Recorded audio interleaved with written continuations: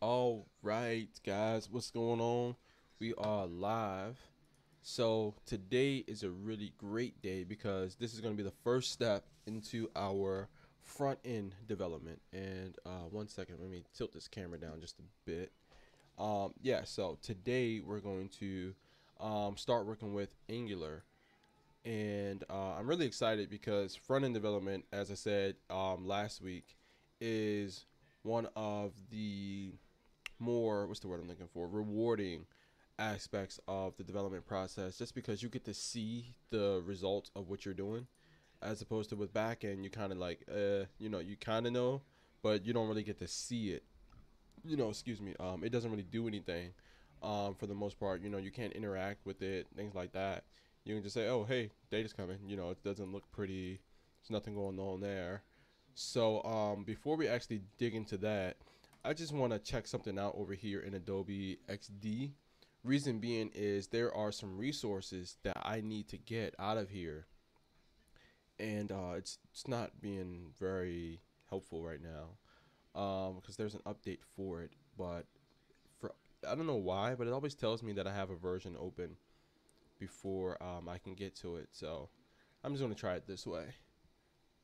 So, um, as I mentioned last week, I need to get the background image and I need to get a few other resources from here, like the colors and stuff like that. But um, I don't necessarily have to store the colors because I already have those stored. So let's go in here and see what we can get. Excuse me.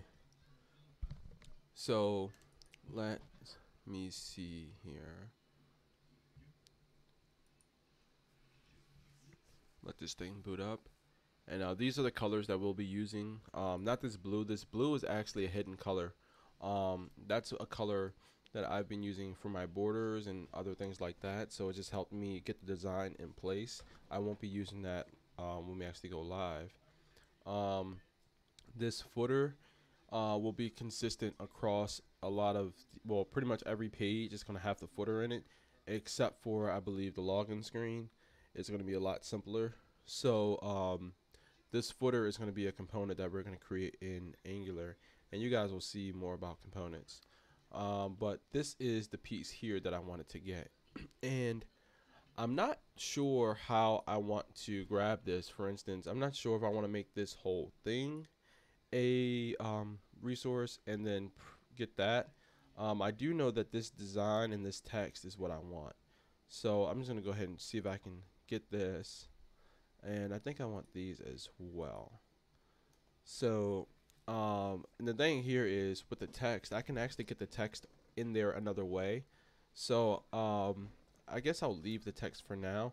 I really just need this image and um, the background color. Uh, yeah I want to make sure I don't have any problems with this. So I'm going to just bring these two as one thing. And then um, I'll grab this text here because that's going to be standalone. Mm, and then I'll, I'll start with this and see what happens. Let me see, is this, uh, yeah, I want this, I want this, and let's get this background. And I'm on the fence about grabbing this, but I'll grab it anyway. Um, so then let's go ahead and see if we can export this thing. So I think I have to go up here and go to I think this plus does it. Oh, that's not the one. Um one of these things. I've never done this before so bear with me guys. Um, it's not web export that I'm looking for.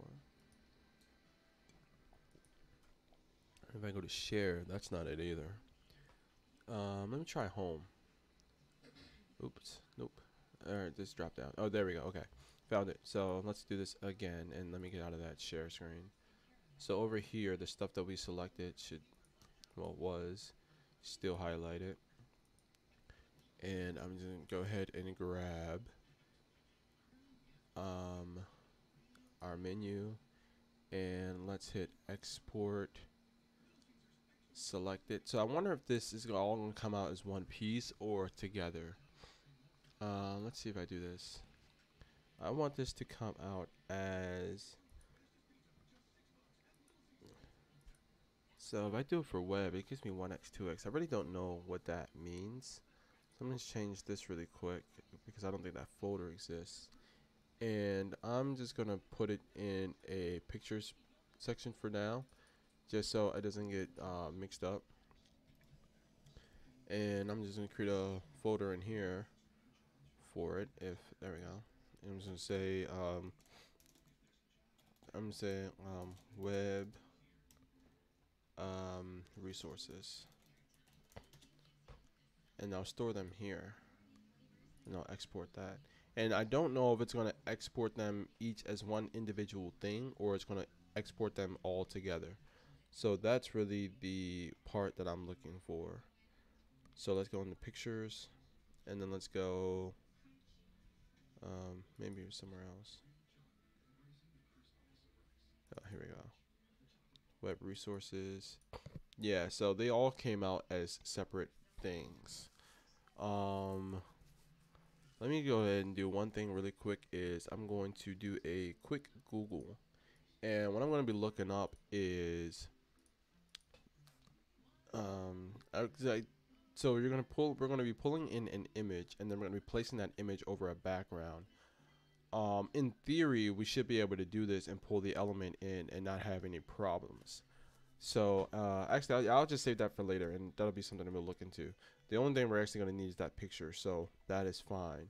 So now what I'm going to do is I'm going to start the process off very simply by going into the terminal, and I'm going to do npm.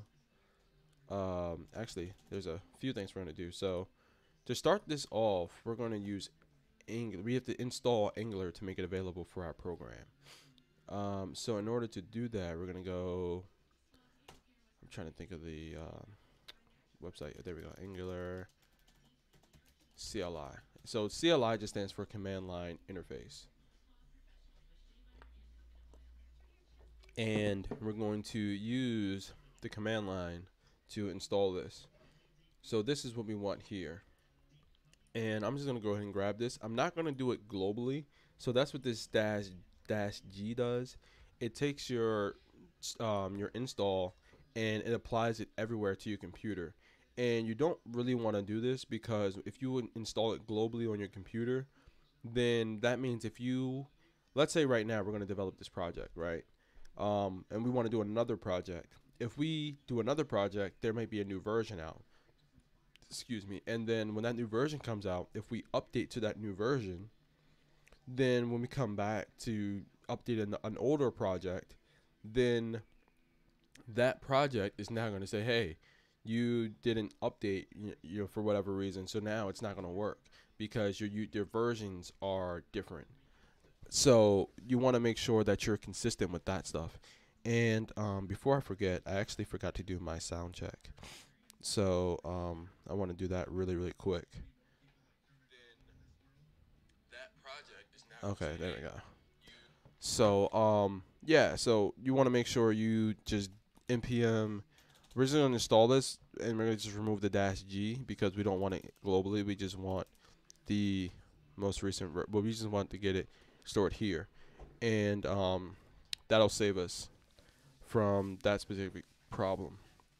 So that means anytime you use um, a project, you want to make sure that when you're installing stuff, you only install that stuff in that project because if you start expanding it to inc- be included globally, then that means all your projects are going to have the same exact stuff and it just it doesn't really help you be flexible when you might be working on different projects at different versions at different times. Like say maybe you're working on two projects at once. Then one project's on one version, one project's on another you want to make sure that you can go back and forth without having to do a lot of work. So um, just going to take a second to install, and this actually comes with a lot of stuff. And what you're going to see in a second is that um, we're to be we're pretty much moving into a completely different environment. So the backend was running on um, Node.js to get all that stuff deployed and on the web. Now that we're using Angular, um, it's a whole different process, and I'll walk you guys through that step by step. Um, it's kind of hard to just summarize it because there's so much going on. And um, we're just gonna keep letting that go. And um, here are some of the Angular commands that they have here. So what's going to happen is when this installs, we're going to be able to create, well, it's not, so, um, and another reason why I did it here is because this node modules thing, uh, as you can see here, we're starting to get some Angular stuff up in there um, that wasn't there before. And uh, that's great. So seems like it's done. We got all the stuff we needed. And um, there's going to be a few more things we're going to want um, a little later. But um, we won't need it right now. So we're going to go ahead and follow this. And I'm actually going to pull this over to another window so I can just read it as I go without having to change a lot of stuff. And um, let's see here. So we're going to do ng, and I might have to do npx because since I didn't install globally, it might not recognize it. Um, we'll see in a second. And I'm just gonna call this app because um, we already in the we're already in this directory, so we know globally in terms like you know the big package. We know that this is our app, right? So now I'm just saying, okay, this is the server stuff. Here's our app, if that makes sense. Like this is the client. You know, I could easily call this client, but I just think app is a little bit more, um, not specific, but it's just what I've seen. So we're gonna ng new app, and that's really all you have to do. So now it's creating a up. Oh, there we go. So you so with this npx is I don't really know what it is. I, I can't really describe it because again I haven't um, done that much with this. Um, so I'm just gonna show you um, npx right. This is usually the command you have to use when you're using um, when you're running off of that local instance instead of that global instance, if that makes sense. So um, yeah, so if we do this again, it should work. So we do npx ng new app, and we should get that ball rolling there. So here we go, and um, it's actually asking us, do we want to add Angular routing, and this routing is what we use to help our web page navigate um, between all of the different endpoints that we created for our backend. So we can just go ahead hit yes, and we're gonna want that. And in here, um, this is actually something interesting because when I first started develop, um, got into web development, I only knew CSS. They have something called SCSS, and then and they also have Sass less, and stylus. So these are all different kind of things for creating your um, your style sheets. And this is like this is like the meat. Uh, this is not the meat. This is this is the the muscle. Excuse me. All the details. If you're looking like you know Node.js and all that other stuff, is like the well HTML is like the skeleton, right? Then you got CSS, which is like the muscle, the eyes, the skin, the blood, all that extra stuff that makes it unique. This is what CSS can do but we're going to use SCSS.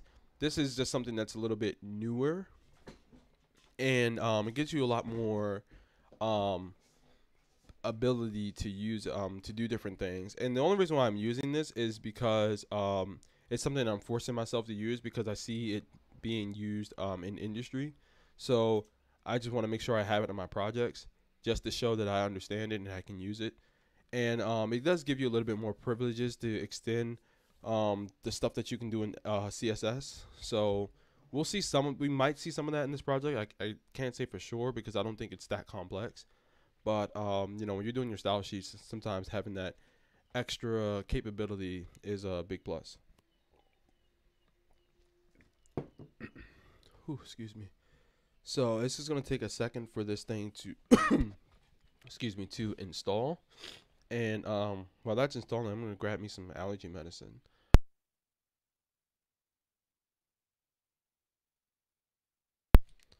So, and actually, since I don't see the printout, I have no idea how long this is actually going to take. So,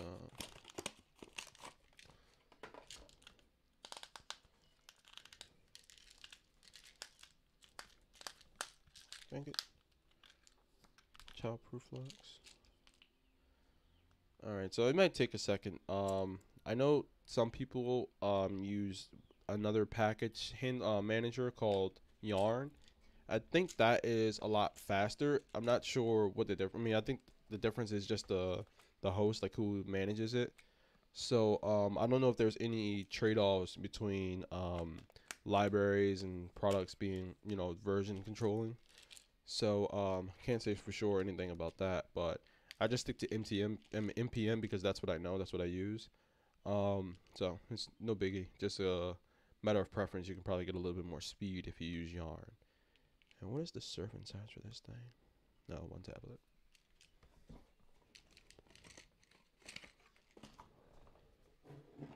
Is it a problem to do it with tea?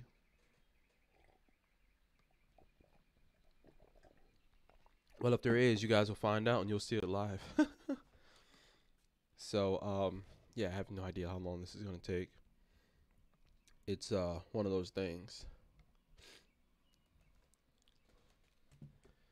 So, hmm, I guess while that's going, on, we can try to.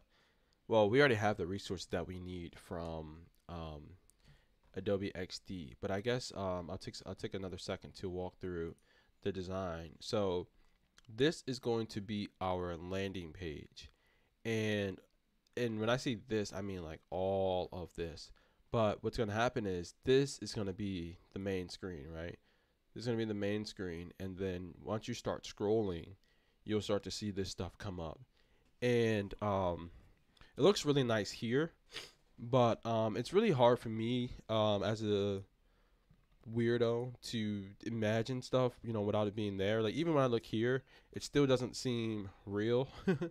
um, so um, you know, all of this stuff is going to come alive. We're going to have um, all these links and stuff become available. But in order to do this, I'm thinking that instead of starting here, I think I might want to start with our my dashboard for me to log in and get in and do stuff because um, that's kind of more important if I can't get any content in. And also, this will help me because in order to get this content in, I need to be able to have a dashboard, right? You know, if you if you there's no website, there's no content on the website this part doesn't exist, and um, this will help me dig into those APIs that I want to use. So, for instance, you know, the login stuff. This is going to be fairly simple there's not much going on here.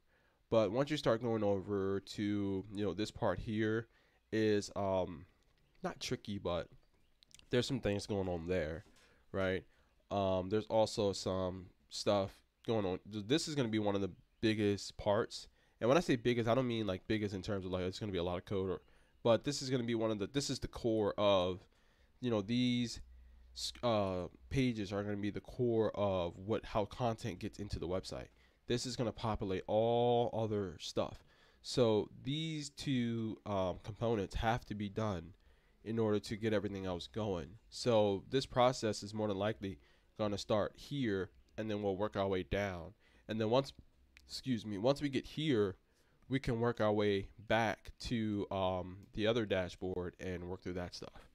So let's see how far things are going. So it's still hung up here. And when it gets like this, I'm always a little nervous to stop it because if I stop it, I always feel like um screwing something up. So I'm actually just gonna leave that there.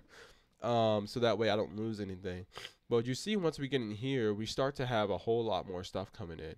We start to have these um our own node modules kind of thing. Um, we have what else do we have? So you get the source here, which holds all of the actual code for this app for the app that we're creating.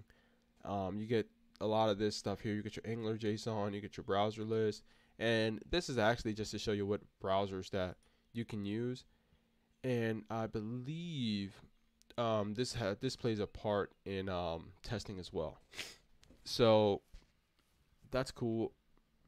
I'm, I'm like I said, I'm not too familiar with this. I don't actually use this. You know, I don't look at this. This is um, Karma. So this is something that'll come into play once we start getting components done because we'll add tests. And this is going to be a very, very, what's the word? This is actually going to be a longer process than when we did for the backend because the only thing we did was send data, control data, right? When we get here, we have to do a whole lot more because we're going to be imitating user interactions to make sure things are working properly. Buttons are clicking. Um, your when you click a button, the data's there. You know all that kind of stuff. So um, that's going to be a lot more complex as well. So that's going to be a real, real big learning curve for me. Um, actually, I mean, I have some experience doing it, but I haven't done it, you know, on my own, fully fleshed, you know, full fledged. I've done, you know, a little here, a little manipulation, you know, grab something, update it. But here we're going to have a lot of stuff going on. And then down here, you see all the dev dependencies that go on with this. And um, this is the stuff that goes up into production. Um, what else? We got a README that shows us this stuff, some of the shortcuts we have. You got your TS config, and this is actually this TS is TypeScript because now we're not going to be using pure JavaScript anymore to code. We're going to be using TypeScript, and that's going to give us a lot of flexi not flexibility, but more control over the data types that are going between our code. Like if we say something's going to be a string, we can enforce that throughout the rest of our code. So this is going to give us a lot more power and control.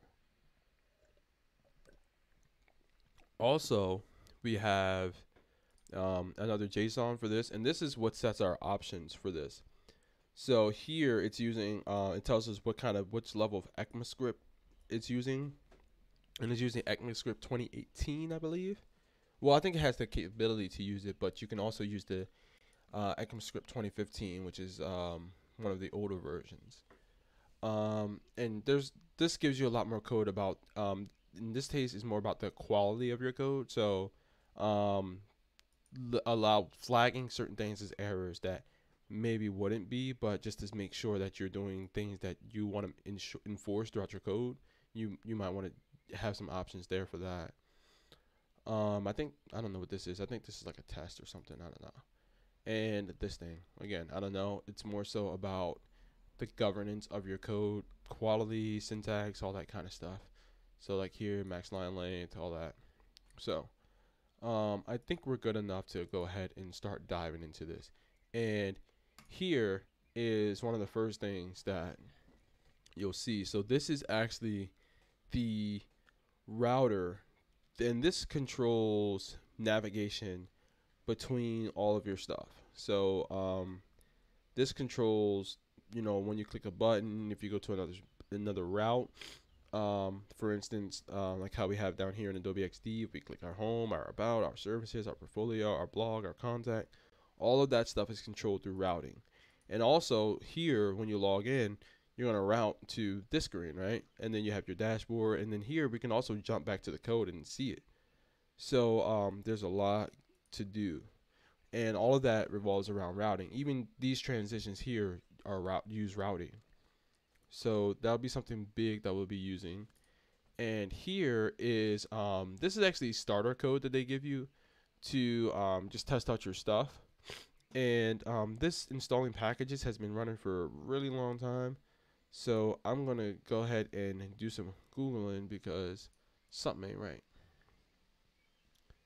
Let me go and hit that one. So let's go and say Angular CLI installing packages. It's, it's not.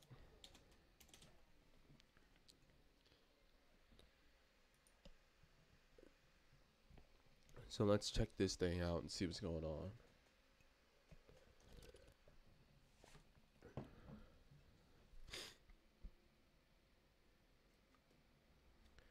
So,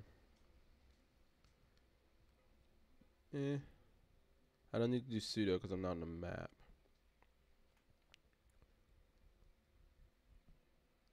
So I'm thinking I can just go ahead and hit Control C on that because, oh, there we go. It finished. So I didn't have to do anything. So it just really it just takes a long time. That's it. Um, oh my gosh, man. Excuse me. Oh gosh, I need some tissue. Um, thank you.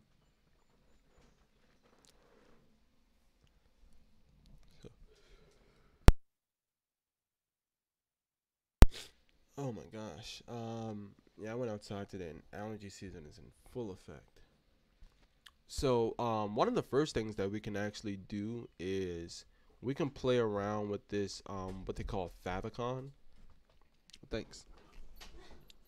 And this is um a favicon is literally I'm probably saying this wrong, but um I'm trying to open oh.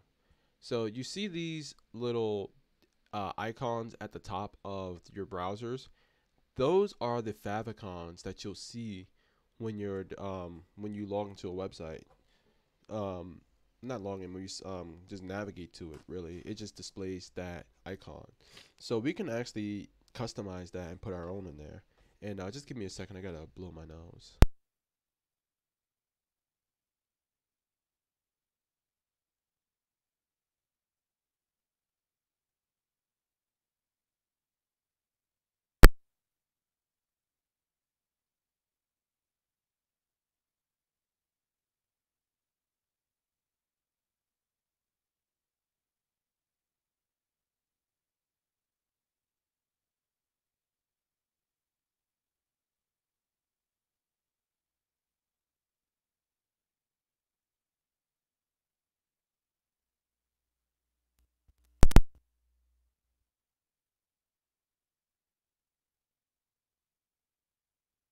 Sorry about that. The uh, headphones got disconnected. So, um, yeah, we don't have to worry about this anymore because we got this. So, what we're gonna do now is it's a few things really. So this um, index.html, right? So I'm gonna show you something really cool because right now we have stuff that we can push. And before I do anything else, I need to do a um, what's the word I'm looking for? I'm gonna do npm. No, not this. I need to do git stash because um, we're actually still on master. Actually, no, I think I saved myself because I knew I would do this. Um, I should be on the dev branch. Oh, I'm still on branch master. I forgot I changed my branch the other day because I was working with the uh, AWS stuff. So, um, gosh, I want to move um, this stuff to my dev branch because I don't want to push this up to master. So what I'm gonna do is so here I got my uh, Lightsail stuff running. So I got my AWS instance running, and that's why you see this message here um, because my server is actually live. So if I went here, I'm sorry I'm sidetracked, but I'm I'm really excited to show you guys this. Um, you see that empty array? It's it's it's calling my database, and there's nothing there right now. So I'm really excited that that's up. But um, back to the task at hand here. Um, forgot that quick. So let's go back here. Um, yeah, there we go. Um, I want to check and get um, started um, working on wrong branch. And I think I can just do this by I can like commit all this stuff and then just push it to another branch.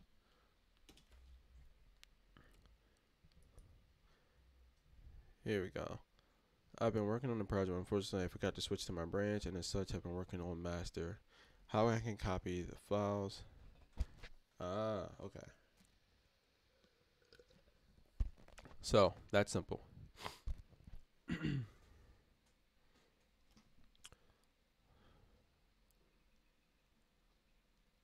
may not actually have to stash if the differences between your current branch and the are not in any of the files you've modified locally. Yes. Um, this doesn't involve commit stash. Uh, saves away local modifications. The stash apply brings them back. How can I? Oh yeah, so we can get rid of those doing that. Um, so this is what we're gonna do. So we're gonna stash this stuff. So we're gonna do git stash All right, cool. And then we're gonna do um. What was this? Save working directory index state. Oh, wait, huh? All right, that that doesn't matter, I guess. Um. Yeah, because this these are only changes they caught. So I'm just gonna do git checkout. Then we're gonna check out our dev branch and then um, now we can do git actually I need to do two things I need to pull from the or um, the master so I'm going to do git merge origin master. I think I need to slash master because I did make some changes over the weekend to get the AWS stuff up, and um, I don't want to merge master. I'll so there'll be a conflict later, but it doesn't matter. So you get stash apply.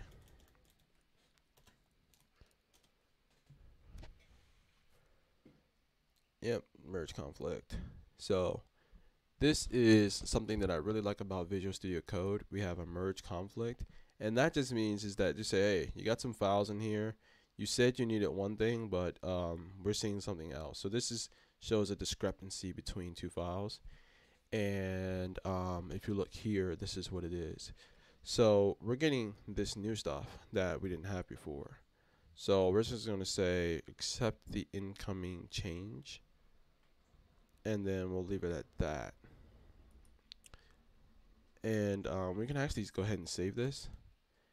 And then we'll uh, stage the change. That's what happens when we do that git add and um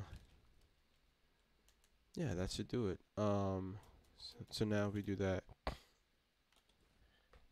now that we have that conflict um resolved these are all the changes that we had which is exactly what we expected so now we're back to where we were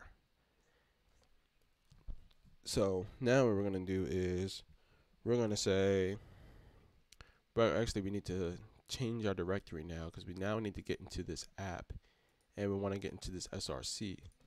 So we're going to do cd app and then um, I believe we're good here. And then I'm going to just do npm st uh, start. Actually, no. Uh, I should be able to just run ng. Let's see. ng start, I believe. Or is it ng serve? I forget which one. And we can check this uh, README file they had for us. You say ng serve for the development server. There we go. So ng serve. Um, so I'm gonna do npx ng serve because we don't have it installed globally. So you got to do that npx. And the ng actually just stands for Angular. So now it's taking some time to do some stuff, so it should be working. And uh, we're going to see something really cool in a second. So as you, you guys know, we haven't written any code yet. So um, what's going to happen is all of this pre, um, all this pre-built stuff is going to give us a web page to look at before we even start to work on it. So let's just let it compile all of the, the code that it's pulling that it's got. And then um, it's gonna run up live into the browser. So this process, um, though this step in the, this phase in the development process, getting your front end up and running, um, I'm always a little nervous and skeptical because um, every time it feels like the first time, no matter how many times I've done it. Um, and granted, I still haven't done it that many times, for, you know, on my own, for, on my own. But um, you know, it's always a challenge for me because I'm like, oh, you know, do I remember how stuff goes? Do I remember how it's supposed to look, the order, all that kind of stuff? But um, let me just go ahead and show you guys what we have and I believe Angular always deploys to um, it's supposed to be 4200. for some reason, something's telling me to check 5000. Okay, yes, let's do 4200. And you saw that A pop up, so that's how I know it's there. So this is what they give you right here to create this. So this is all from Angular before we even did anything. Um, we're not going to use this. I just want to show you guys that there that all that extra code in there does. So we go here and we delete all of this, right? And then we delete. Um, I'm going to leave this alone. And then if I just rerun this, um, you'll see something. So let me just save that file and then run it again.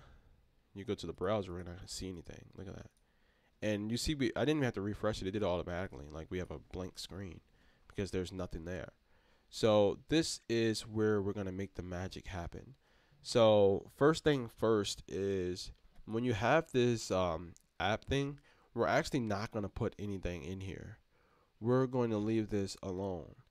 And um, in my experience with Angular, um, you don't even have to. Before I say it, I want to check.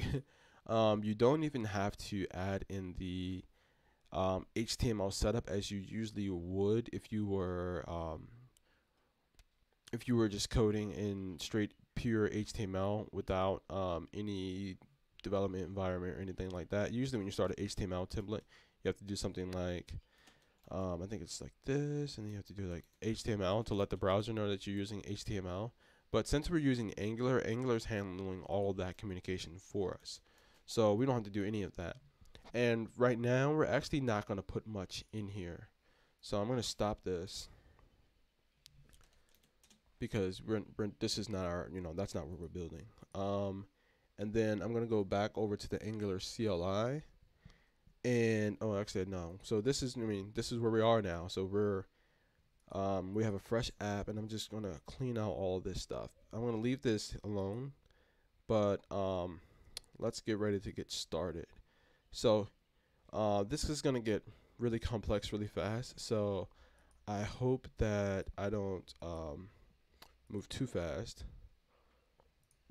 But um, if you guys have any questions, just drop me a line down in the comments. Oh, this is what I was talking about here.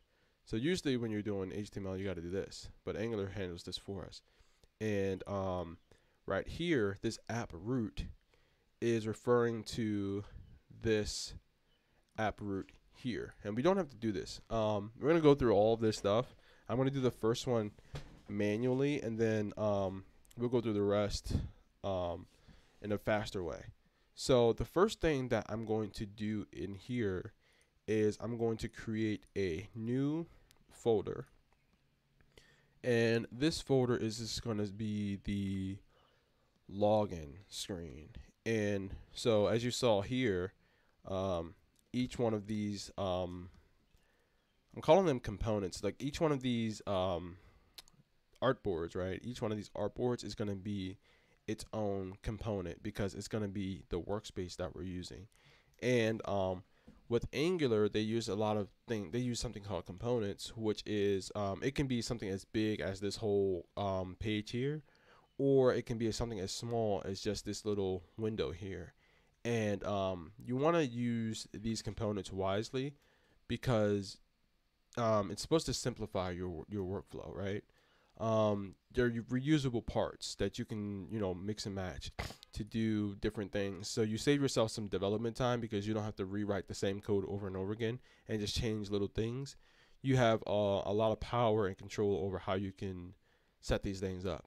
So um, let me just go ahead and set up this next thing and I'm just going to call this login right? So we have this login and there's nothing in here. So we're going to start with our new file and this is going to be login dot component because this is going to be a component that we're working with dot ts and this ts just stands for TypeScript just like the dot js stands for JavaScript. Um, we're also going to need login login dot component component dot um, spec and this is for our tests. Um, we're not going to get to this yet dot ts right? And then we have we're going to need four files for this. So we're going to login dot component dot um, html so this is going to be where we put all of the stuff that people are going to see. And then we have one more file and this is going to be the SCSS stuff login dot component dot um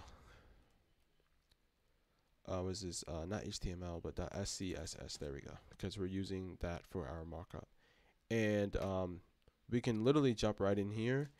And um, what I want to do is create a divider. Well this is a, a div element. And um, what this is going to do is is this is going to contain hold all our data. So uh, what I'm going to do is I'm just going to call this. Um, well, I'm not going to do this yet, but um, this is um, something that we can use to house all of the stuff that we want to show in um, on this screen. So we're going to have our logo. We're going to have our login. All of that stuff is going to be in here. So that's why I did a div to just house it so that way it's all nested together. And we're gonna need a few things. We're gonna need our logo, image. We're gonna need this background color. And um, one cool thing about this is we can all we can we can use classes. So um, if you're not familiar with HTML, um, I'll try to work through the lingo um, a bit and try to give a little bit of um, explanations about the elements as I use them. But I don't want to take away from people who already know this, so I won't go super in depth about the uh, depth about them. So um, bear with me. Um, there's a bunch of tutorials on the on the internet that'll give you a breakdown, and they're only about one or two hours, so you don't really have to spend a lot of time to learn HTML, um, unless you you want to. So feel free to go ahead and look around on that. And what I'm going to do is I'm going to create a class. And this class is going to be called, I'm just going to call this um, purple, actually I'll call it um, theme, themed background, right? So you can really call this anything. I'm just to call this um, container. Well, now I'll call it purple. Yeah, I'll call it purple container. So that way we know what it is. And um, there's also this styles CSS that I can use as well to make um, to do global styles. But since I haven't gotten to that level yet, I'm just to create this purple container just to show you guys something. And then um, here, I'm just going to say um, dot class, well, dot purple container. So now we're in our SCSS file. And we'll be jumping back and forth between the HTML, the SCSS, and the TS file. So um, there's going to be a lot of stuff going in here. And then we're also going to use something called services. And um, that is going to be uh, a lot because we're going to have to actually connect to our server to actually communicate and send things. So in order for a login, like how we said, we, we're going to create a form. We're going to do a bunch of stuff there. So um, there's a lot to be done here. So what we're going to do is starting with this purple container, and I'm just trying to start as slow as possible just to try to show you guys little by little what's happening. And um, I'll pick the speed up as as um, as things um, go along. So I just want to get this um, code for this color, and I'm just going to say uh, color, and I'm going to paste that in. And there we go. So I'm actually just gonna save this. And um, on the app thing what I'm gonna do is I'm just gonna put um,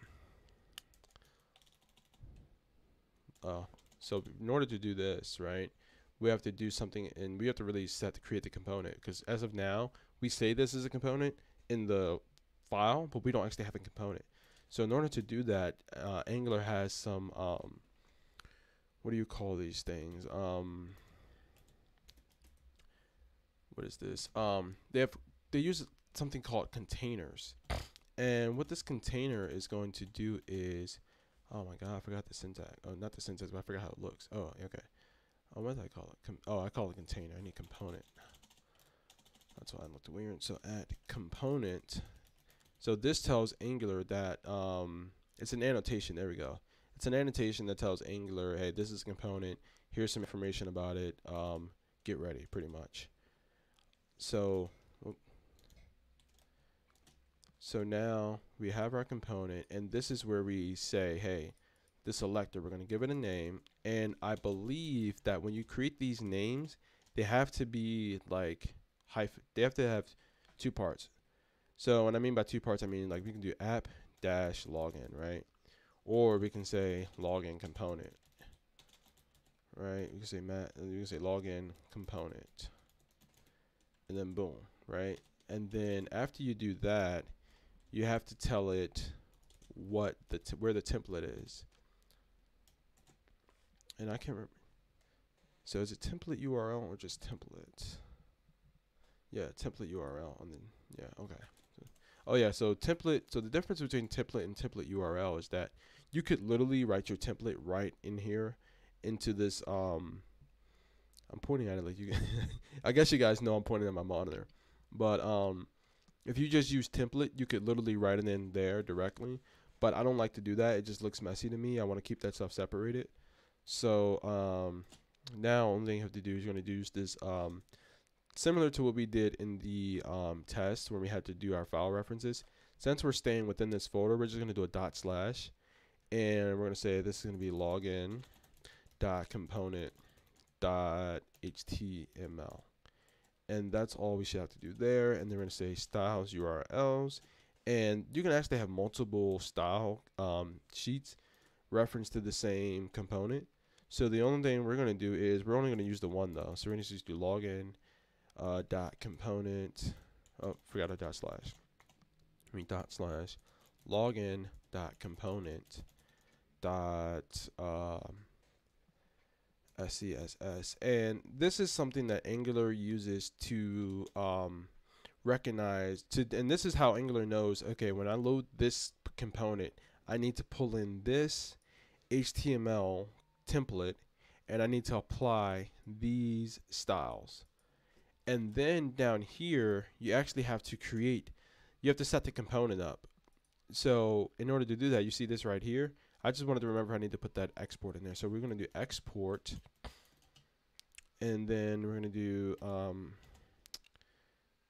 export class because they still use um, they use something called classes, which are uh, pretty much their blueprint of a specific object. And when I say object, it's think of it as something structured like um, JSON um, not necessarily JSON. It just has properties, but it's it can do a lot more. It can have uh, methods.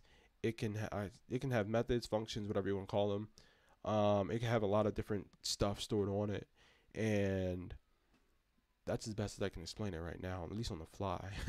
Something like this, I'd have to prepare for. Not prepare. I had to prepare for it before I can just spitball it to someone who doesn't know what it is. And this is just gonna be login component, and we're just gonna do that. So now you see it's happy because at first it was like, hey, at component, okay, you're telling me this stuff here, but I don't see the actual component. So now this is where we're going to set our component up. So to keep it simple, um, I'm actually I'm actually not going to put anything in here. I'm just going to save it just like this. But um, here, this is where I was going. In order to actually load our component, I need to use um, I need to go here and say, hey, load this component. And there it is. So now if we save this and then we go um, npx ng serve, we'll see a purple background and nothing else.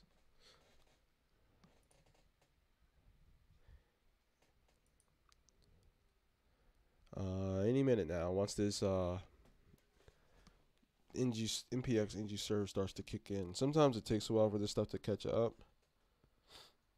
but uh, it takes a while. So here we go.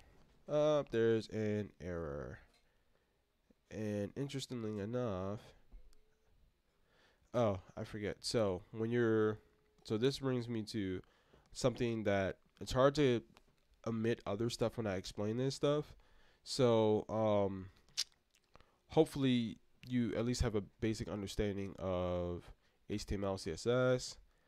But when we have this stuff here, I need to register these components via using something called modules. And um, what I'm going to do is I'm going to let this login.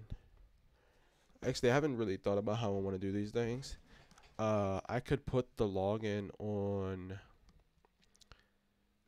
The login component is actually not going to be at the base of this, so I'm going to have to worry, think about the layout um, as I go through this. But um, the the problems that it's having is that I said, hey, use this component, but Angular is like, what is this? And it's because it's not here. Well, it's not here. So what I need to do is I need to go in here and, and add, they have this thing called ng module. And this is how it knows which components do what. So what I'm going to do is I'm going to say, hey, we're going to use this thing called a login component. I need you to pull this thing in and know what it is. So when we do that, now you're telling Angular that this thing exists because it's like a, think about it as a registration. You can go, you can get your uniform, show up to school, uh, go to your classes and the people and you know if you don't register you know you don't enroll, people are like, hey, who, who's this guy showing up? You know, who's this person showing up? Um, now I have no idea what I did. Um, a little rusty, so um, bear with me. I do think that I have at least the basics in here correctly. Um, I'm just gonna stop this because sometimes, again, uh, as you guys saw with the back end, that um, caching is a thing, and I think the problem here is not necessarily that um, oh the other stuff didn't save. Okay, so mm, less bigger, um, not say less bigger, but um, not the problem I was I thought it was. I thought it was something else, but I just didn't even save my files. So here we should see the purple background. Uh, I can't say for sure to be honest. So I'm just do F12. Um, should see it, but we're not seeing it. Um, I don't know why. Uh, probably should have did background color as opposed to color because that color probably just points to a um, what I'm looking for. Like uh, if you had like text, but if I did background color, that should do it.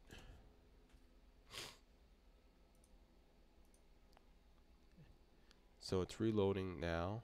And uh, to get to this window here, you can hit F12 if you're on Windows. It should be the same key everywhere, um, but I can't say for sure. So the only thing I'm trying to do is just show this purple background. And um, it's not happening. I'm not stressing it because this isn't, um, like I said, this isn't where I was. Um, I'm just trying to get this set up with the, um, I'm trying to get something visual as soon as possible, um, pretty much.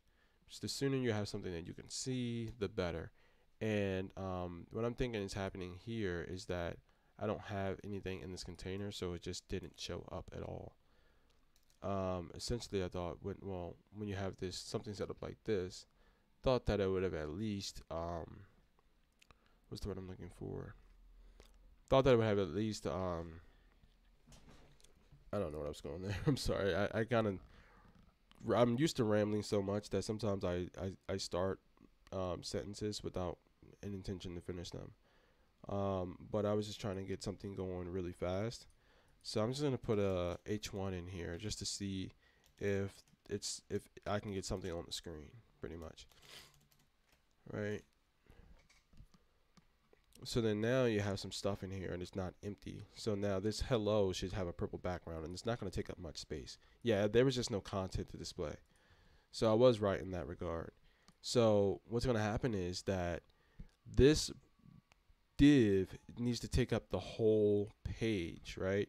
So if I put purple container, I need this thing to take up the whole page, right? So in order to do that, um, you have to use your SCSS, right? So what we're going to do is I can literally just go in here and instead of, you know, I can be very specific or I can just say, hey, height 100%. You want to, I want you to take up the whole page and I kind of like using these percentages. Um, it's a little. Some people have their um, their problems with it, um, because it's not always going to give you what you need. So in this case, you saw I did height 100%, right? The only thing it did 100% of the space that of this content. It took up 100% of this, right?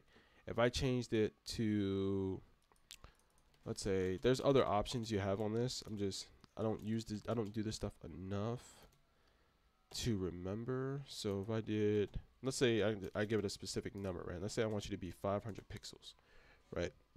And I really don't like using pixels. Well, I'm not gonna say I don't like it because I use it, but um, I want to get out of using pixels because as you can see here, it's very limited.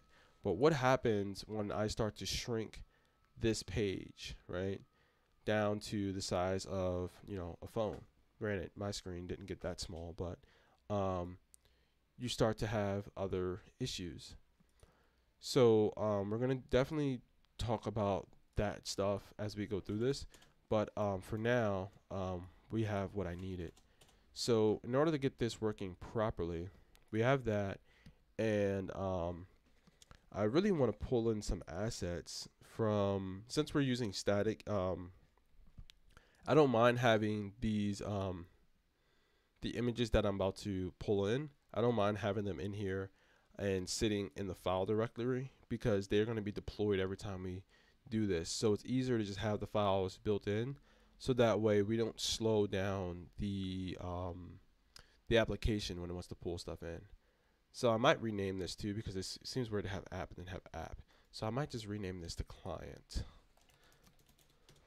because the well, I thought I rema- renamed it to client. Let me try that again. Client. Oh, okay. So, oh, I get it because we're using this uh thing here. It's not gonna let you do anything. I think. So let's try this again. Still busy. Interesting. Um, one more time. Cause I am persistent. Alright, I don't know what to do. Um, I'm going to hack it because I can. So what I'm going to do is I'm going to do it directly using the file structure. And hopefully it doesn't break anything. So I'm to do uh, rename client. Ah. Okay. Oh, these things are open. So I'm to close all of those. And I'm to save all the changes. Uh, now I should be able to change it. Um, as everybody knows, when you can't change a file or a folder while it's in use. Alright, I don't know. Oh, that's interesting. That was slightly different. No, I just want to try to rename this one more time because I am very persistent. Alright, can't get it.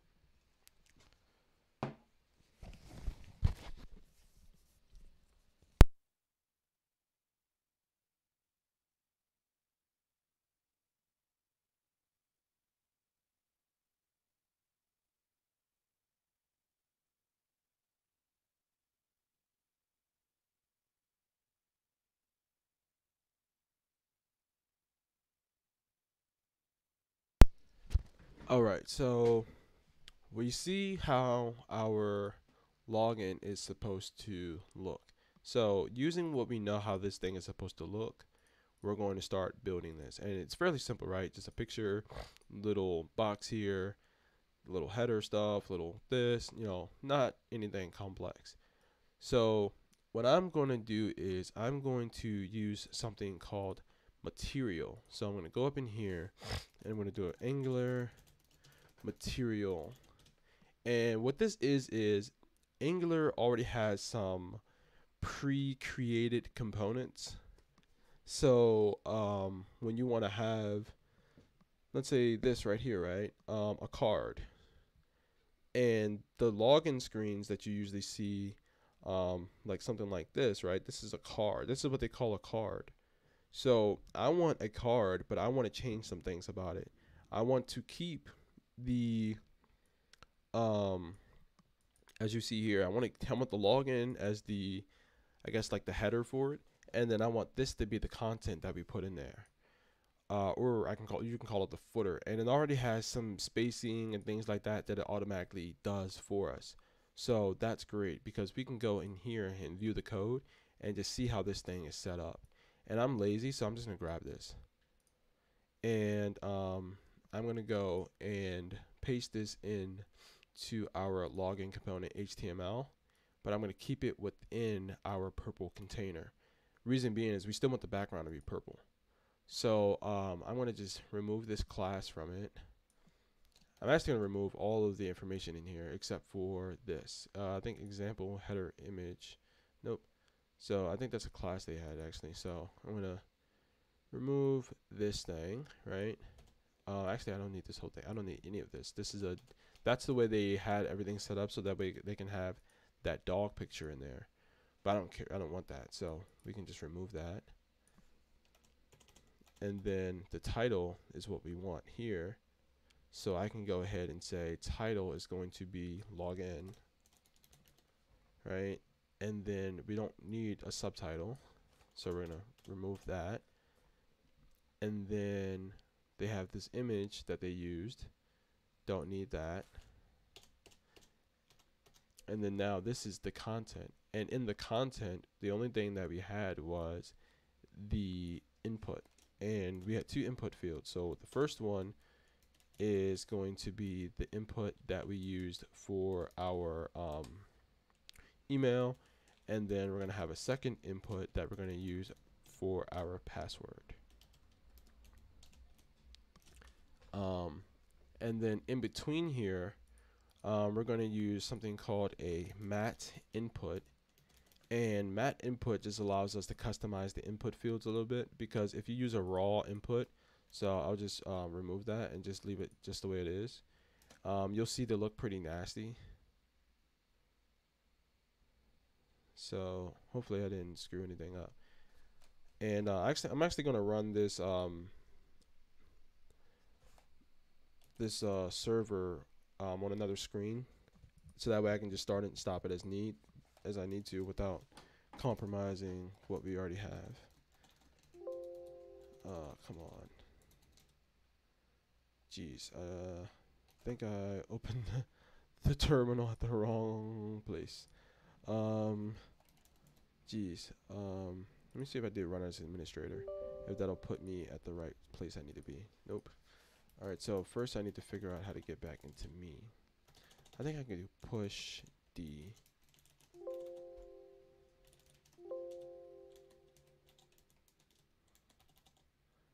Oh, come on. Alright, so cd dot dot ls, uh, not ls. See, this is why I want Mac so bad. I'm so used to using um, the Linux terminal commands that um, I don't really remember how to get into my own thing. And actually, I'm going to go all the way back because uh, I didn't mean to do that. Um, let's see, CMD. And then, oh, there we go. I don't know what happened the first time. So I'm going to do um, CD programming. And another thing I don't like about this is the tab auto completion This doesn't do you justice. Because once you go another level deep, it's just gone. Um, so watch this. It, doesn't even follow. So williamennals.com slash uh, what do we call this client, right? Oh no, it didn't let me do it. So we're gonna do app. So now I'm gonna do npx ng serve, and I'm just gonna leave that running, and I'll put that somewhere else. And I have that on another screen, so that way I can just see if there's an error, and I still have my terminal here freed up which uh, helps me do those quick commands if I need to install something, change something. I can do it right here without having to stop, start, all that kind of stuff. And uh, seems like I have some errors. I'll bring it over to you so you can see. And I think the problem here is that I didn't import the module. So now that I'm using this material stuff, what I'm going to do is I'm going to give this its own module. And the reason why I'm doing that is because we're storing um, data. Well, when you create a module, you might have all the libraries and stuff that you need to use for that specific um, component might um, what's the word? It might need to be used elsewhere. So you might want if you if it's something that needs to be elsewhere then you might want to have a module that you can share between different components. But just to make things easy for now i'm just going to show you guys how you set how you would set that up and I'll set it up here in the app module. And then as um, the login component stuff gets more um, complete, we'll fix that. So we're just going to go ahead and do um, import, and we're going to import the mat, I believe, what is it, mat card module? Let me see what uh, Angular says. Yeah mat card module. Import mat card module. And if I put the comma here, hover over it, should import. Oh, so that means I don't have material installed. So if I go up to the node modules, we don't see the material. So what I need to do is I need to install Angular material. And the only thing I'm going to do is I'm going to go over to guides and um, you guys are going to see in a second why. So getting started and in order to get started we got an ng added. so we're to do and that's why I said I'm keeping the terminal free so we ng add material. I believe that's what it was. Oh, at angular material. So I'm to do at angular slash material. So this gives us access to all of that stuff that we saw on the side. And um, there's actually a lot. So while that's installing, we'll go and look at all of the stuff. So they have auto complete boxes, check boxes, um, a date picker, so you can pick dates for stuff. You know, you can click this and drop that thing down. They have form fields, which we'll get into in a little bit. Um, they have inputs, which we um, actually is perfect time. So this is a basic input, right? Basic, basic, basic input. So this is a mat input to say, hey, this is something that you can use with the form field and use it within a form group, a group of stuff that goes in the form. So think about an application that has all those fields you got to fill in. That's exactly what a form is. You got your radio buttons, you got a selector where you know you can drop these drop downs. You got sliders, um, like you might see them on YouTube when you're turning your volume up and down. Um, slider toggle where you're like, hey, activate, deactivate. You know, you got your menus and this is a button drop down menu. You, you actually interact with these a lot more well a lot. We probably don't even know it when you're using mobile websites and you have these menus. That's what that is. Um, same thing here with the side nav. If you've ever seen something where um, oh, you can't see it here. You got to open something else. I don't feel like doing that. Um, they have like toolbars which are it's pretty much just things that just sit at the top and tell you who you are um, and then you have your card, which is what we're using. They have dividers, which um, you know divides your your stuff. Actually, this is interesting.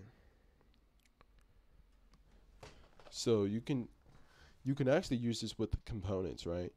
Um, you might you might have seen in other places that um, yeah, it just gives you a line separator. Really, that's really all it is. Um, and you see this mat divider right there. It just gives you that horizontal line all across and uh, the expansion panel this is probably where you see like when you're filling out stuff and you got all these panels that you can fill out to do different things. Um, so so so much stuff that you have in here. There's a whole lot more right? We'll, we'll use some of these so you'll you'll get familiar. And um, here we have to pick our theme.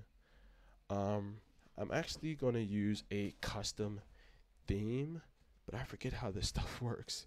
So I'm just going to do um, actually, let me look over here, right? And I'll, I'll walk you through the theme.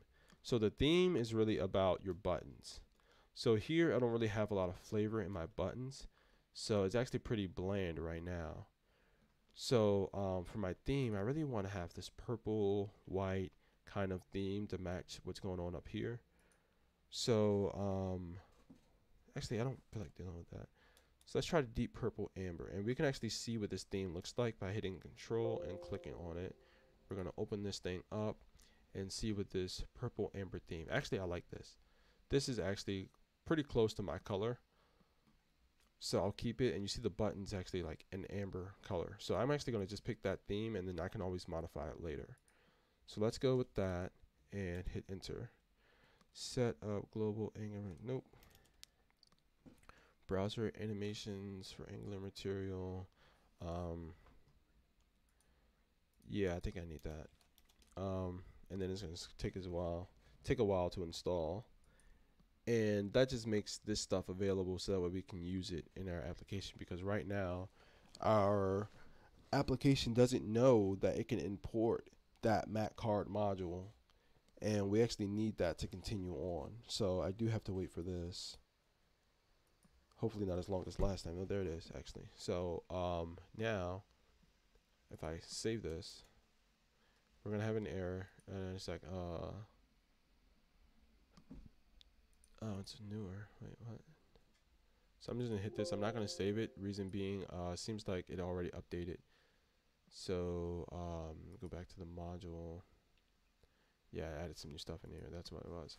And then now we're going to add in our comma mat card module comma and if I hover over it uh still didn't get it so okay fine um, import Actually, let me check the node modules one more time. Seems like it didn't import it.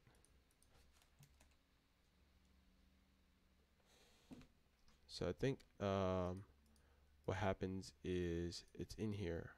Uh, I'll show you guys. So I think I created a. Wait, where is that?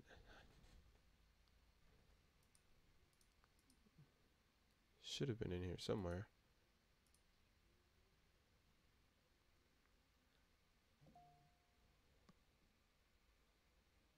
All right, let's see if we can find this thing because. All right, so I'm gonna go down to the get started, right? ng add material. The ng add will install Angular material.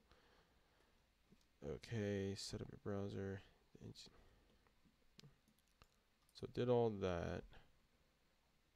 So now we should just be able to import it like I thought. Okay, so uh, let's just go over to import. So we're gonna write this out manually. And as you saw, uh, as you saw in uh, Node.js, we use require. This is a different way of importing stuff. So just um, same thing. Just keep that in mind. And then we're gonna say from. And I don't know why this doesn't auto load my stuff. So maybe I'm missing a library that I thought I had. Um, and that, I mean not a library, but an extension. And for some reason it doesn't. It isn't aware about this yet. So I'm feeling like my install didn't go in.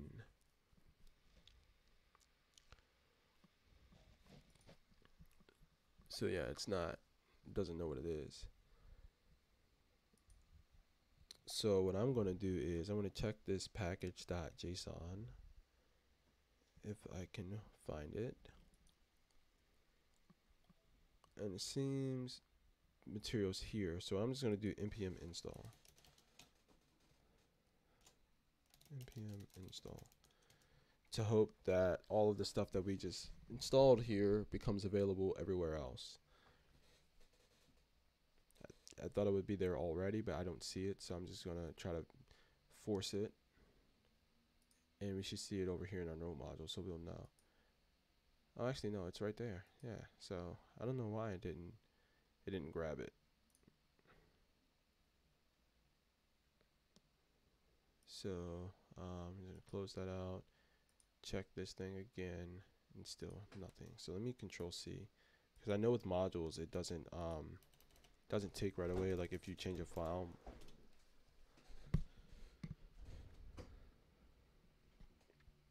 And again guys, this is uh, getting set up is one of the toughest parts for me just because it's there's so many steps involved and you kind of got to get your um, build your momentum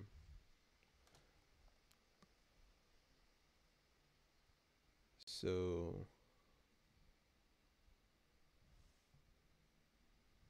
huh? Got me starting a day early at work. Wait, what a second, huh? Sorry, guys, I got uh, distracted by my email.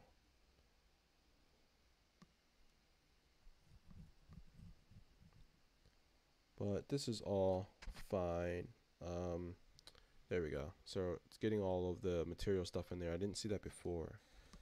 So hopefully it's picking up on this. So I still have a problem with this because we installed the library. Um, it's definitely in here on our um, Angular material stuff. So I don't know why that isn't uh, working for us. And I don't know how it got so low in the package. So that's something that I'll look into as time goes on. Okay, still compiling. So yeah, I think it, it was more so an issue with the compiler because as you see now, it's compiling all of those modules.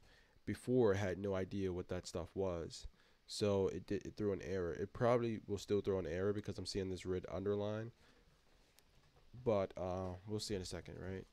Um, I'm actually going to ignore that and see if everything is still if it's still running because um, like I said, it doesn't know that that thing even exists. So this time it's it's you know, okay, really doesn't like it. But the server's still running, which is interesting. Mat card module, mat card module.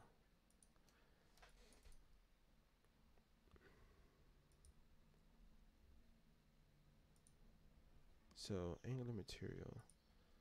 Um, let's go. ng add material. Not working.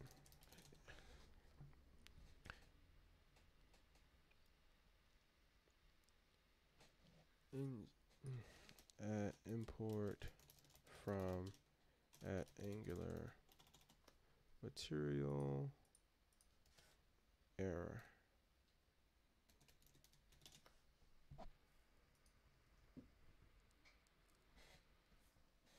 Yeah, here we go. So I think what uh, I needed to do was um, so there's like a module that I can use um, to set everything up to install the module. So I can actually install the in the module from um, the command line. Oh, this is what I'm looking for here. Can't find module at Angular material. So, um, and even, oh, they don't have it there in their project. So I do have to do this. So I don't know why they don't show you that on the other page. So I'm going to install both of these. So I'm just going to do it um, right here in the terminal. I thought I had to do that, but I didn't. I thought it came pre-shipped. So I was wrong. Oh, hopefully I didn't do twice. Oh wait, uh, so it seems like my terminal's frozen.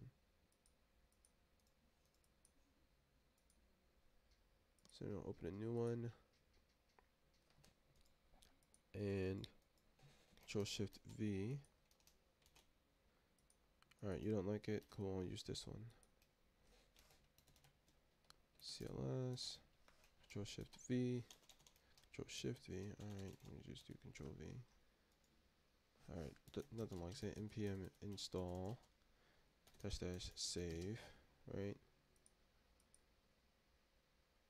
At Angular material. At Angular slash material. And away we go.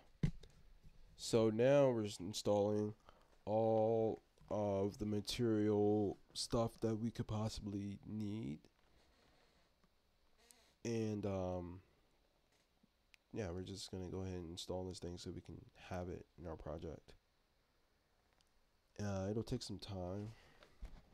And while that's doing that, I want to install the npm install dash dash save um is it in uh at angular I think it's slash animations because um and that does the to- the animations for like the um the togglers and all that stuff because those are technically animations so we're gonna go ahead and do that hope I spelled animations correctly so that installed and then while the animations are installing, I, I'm still going to go ahead and do the npx ng serve. I don't think we have any animations on our card.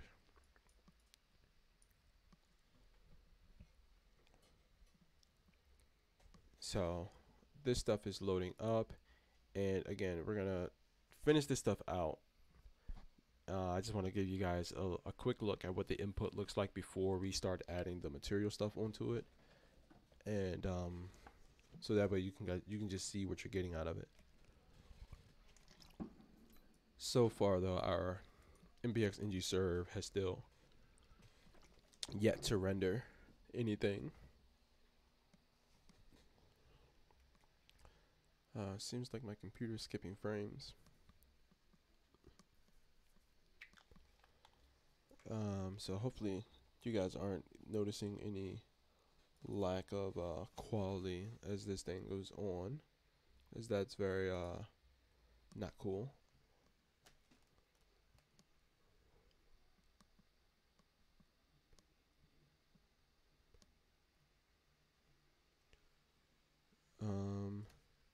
Has this thing started to run? I see seeing something over here. All right, I'm not sure what's going on, so I'm just gonna redo it. Oh, there we go. I don't know why that works sometimes. I'll be waiting for this compiler, and I'll just start hitting Control C to get ready to get out of it, and then it'll be like, "Oh no, don't don't don't kill me." so uh, I'm just gonna go ahead and uh, try this again. And I'm thinking by the next time you guys see this, I'll probably have an Ubuntu um, terminal. So there, luckily Windows did deploy something so that way you can have the best of both worlds. You can have your Windows operating system and all of that convenience, and still use your um, your Linux um, terminal. So that is a big win for um, Windows users because we all hate the terminal here. It's just uh, I don't know what it is. I don't. It's just like there's a whole. It's not as easy as Linux. Um, and I want to. I wanted to say that I didn't. I didn't want to say it because I thought it was biased. But um, you know, I've tried using stuff in the Windows terminal, and this is very non-intuitive. It's just it's it's unintuitive to the, to the to the highest level. And for some reason, um, my browser still, I mean, not my browser, but my code still doesn't want to accept the uh, Angular material. So I'm kind of at my wits end on that one.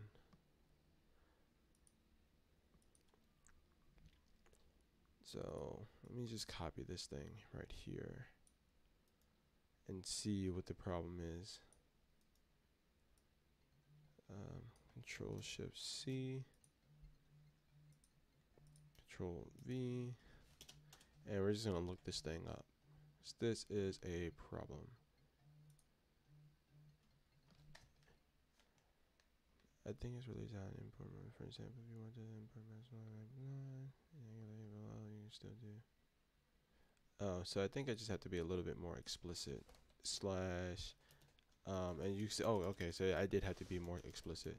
So, um, it still doesn't seem like it's gonna pick this thing up. Oh, it did. Okay, so I guess you, in, I guess this saves space. So, um, as somebody broke down here,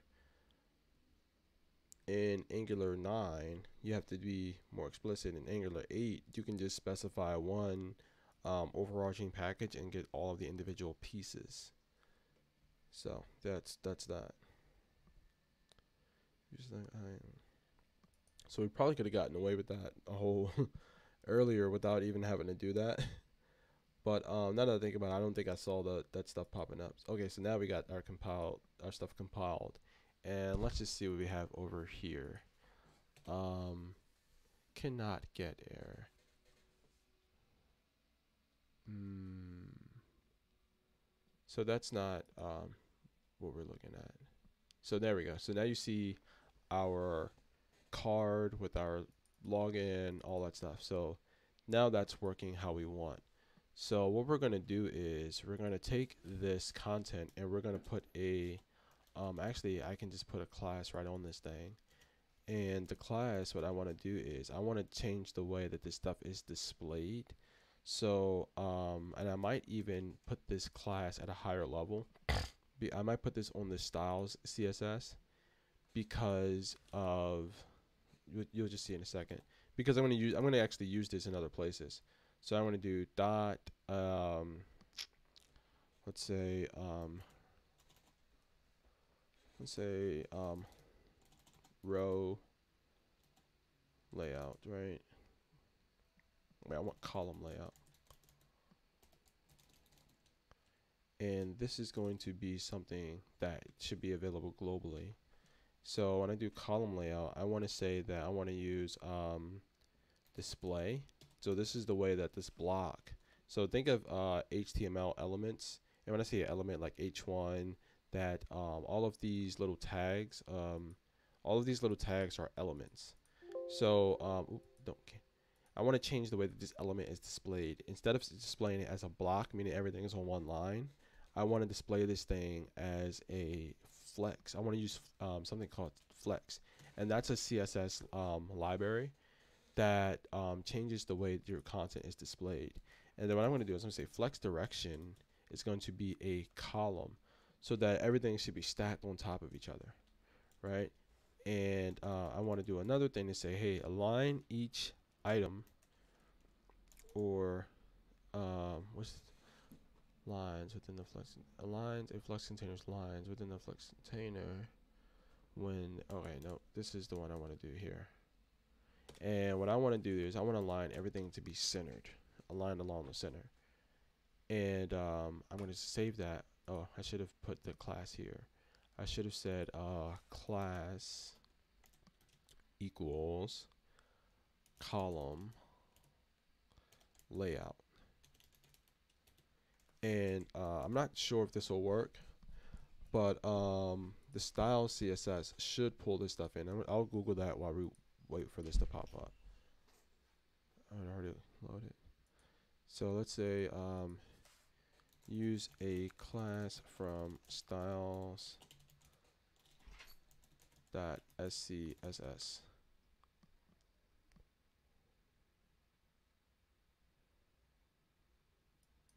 angular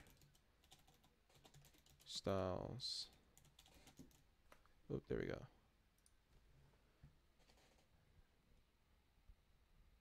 So we should be able to use this everywhere though. Because it's a global thing. So I'm trying to think if we have to add that to uh, let's go to getting started uh, Alright, so not exactly sure how to use that styles, that SCSS. Um, the only thing I can think of is to actually put that thing. Actually, let me just do this. We can hit something. We can go in here, and we can get all of the references to this thing. If I knew what I was doing. Um, so I'm just gonna do uh, styles dot sc and see what else is using that.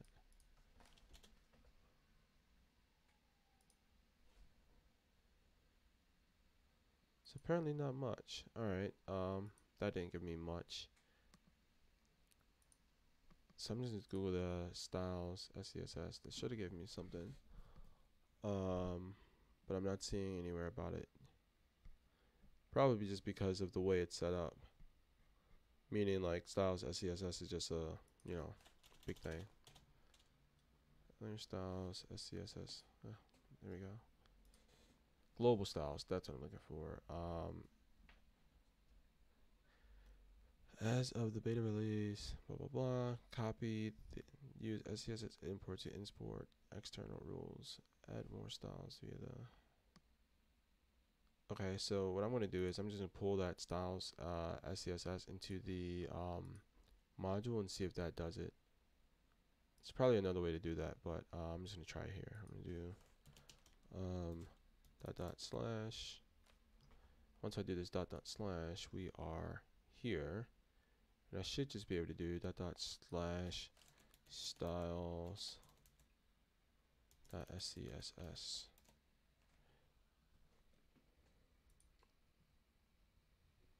Let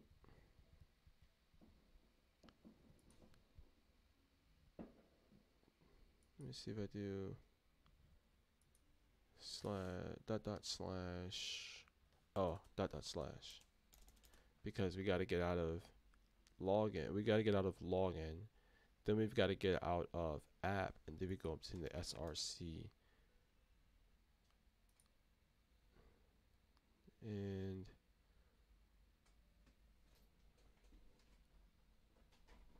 So I'm just going to get rid of this. It, it's not that important. I can always um, look this up offline and um, show you guys that later. So go in here and we're going to put this on this style here. And what I'll do is I'll do that and now it should have that style and um, let me go and look at our code over here we should see it. And now it's reloading. So there you go. So now it's, you see it's in the center, and we got this login thing going on it there. Um, we actually want to do the same thing with our header over here, but we don't want that. Um, where is it? always get lost in here. So we want this column layout, right? But we don't, and we want to center it. And since we're going to use that center a lot, and other places, we can actually um, just create that, let that be a standalone element, I mean, let a standalone piece. And what I mean is we're going to go here, right? Let's pull this out because we're going to align a lot of stuff center. Uh, actually, align items. I don't know if it's going to be align items. So I'll leave it for now. And then now we have our forms in there, right? But you see the way these, excuse me, um, look at the way these forms look. They're very nasty. So um, what we're going to do is we're going to make them look better. So in order to do that, we're going to have to use the those mat. Um, here we go. Um, look at the. We're going to use the mat input, and what that does is, again, we're first we're using we're going to nest these things in what we call form fields because we need to have a form group for this because um, if you guys remember when we were using Postman, when we had our responses and our body and all that stuff, when we sent this stuff off in a form, that is how we did it. So um, what we're going to do is we're going to, I'm not going to copy this yet because I want to expand as I go. So right now when you use an input, you can't, you got to, well, I'm going to say you can't. So um, this is easier to show you than, so um, yeah, yeah, yeah. And the only reason why I want the card is because of the shape. But um, when I look here, I don't even see it. So the card usually gives you a shape where all of this stuff is supposed to be aligned and you can set the size and all of that stuff on it. And um, I'll go over to the, um, I'll go back to the card so you can see what I'm talking about. So when you go to the example here, there's really only one example and I think it's a pretty good one. But um, you see here, it looks very simple. But um, when you go over to the S, the CSS, and you see it tells you the width of the card, we can literally go ahead and do that, and you'll see how that changes.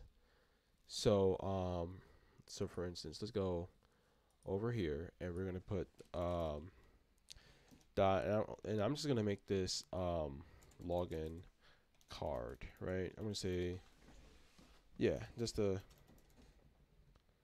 keep it all together because if not, um, you know, well, this this is just a very descriptive, uh, very descriptive, right? Just like with the code, you want to be descriptive with your classes.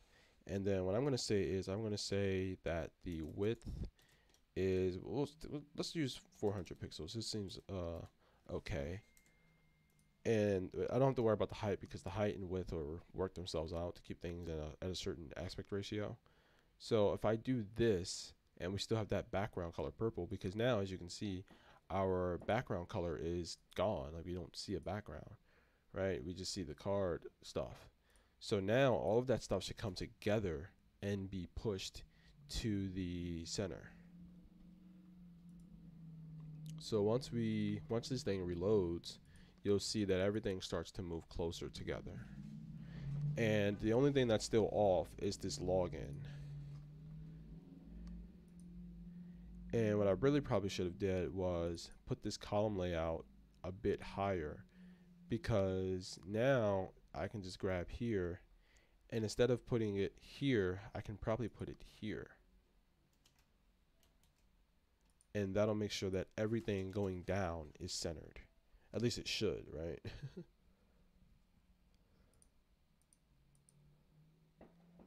So that's the refresh. So let's try it. Let's see what happens if I put it up here. Because all of these things are now nested within it. Um, I want to see if the content itself is still layered centered. Oh, yeah, there we go. And then uh, just to keep that same energy, we, we still do have to put it here though. We still do have to put it on the content so that we say, hey, moving down, you need to be in a column. And now look how e much easier it is to read when you say you know what we're doing. We have a purple container, we have the column layout, and then we have our um, column layout, right? But this background is still not the correct color. So let's go ahead and see why that is, right? Um, so the background actually should be purple. So all, actually all of this is showing the card. I thought I had that thing as 400 pixels. Just mat card, right? And we can look over here and see what's going on. and um, as of right now, oh, I didn't put the I, I didn't put the class on it. So, and you can have more than one class in here. So I can also say um, login dash card, and that should put it back to having everything in the middle. And then boom, look at that. So now um, everything's not the way it's supposed to be, but we're getting there. So let me just go ahead and take a look at this and figure out why. So I think what I need to do with this is I need to put this in the center as well. So I need to say align self and I want this to be center. And actually, um, before I do that, um, the thing I like about using Chrome or mostly, you know, the browser is that you can go in here and uh, manage that yourself. So we can go here and we could go at the highest level and we can just say align uh, content. Or let's, we can try align content center. Doesn't work, right? So we say, okay, what about align self? Center, still not working. We can go align items center. That is not working either. So what if we took this out? And then if I did display, oops, flex, still not liking that. So um, I'm actually interested in seeing why this is the way it is. Because I would have thought that everything would have just been aligned. So now I'm gonna grab, I'm gonna go a bit higher, and I'm gonna say, what if we do it here? And we say align content center. Still nothing. Align items center. And it can also it can also have something to do with the way we have it displayed, right? Um, because it's a div, it displays as a block element. So um, everything is meant is going to be stayed on one line. So I want to keep, I want to change the background. Um, so I want to say uh, mat card with background. Um,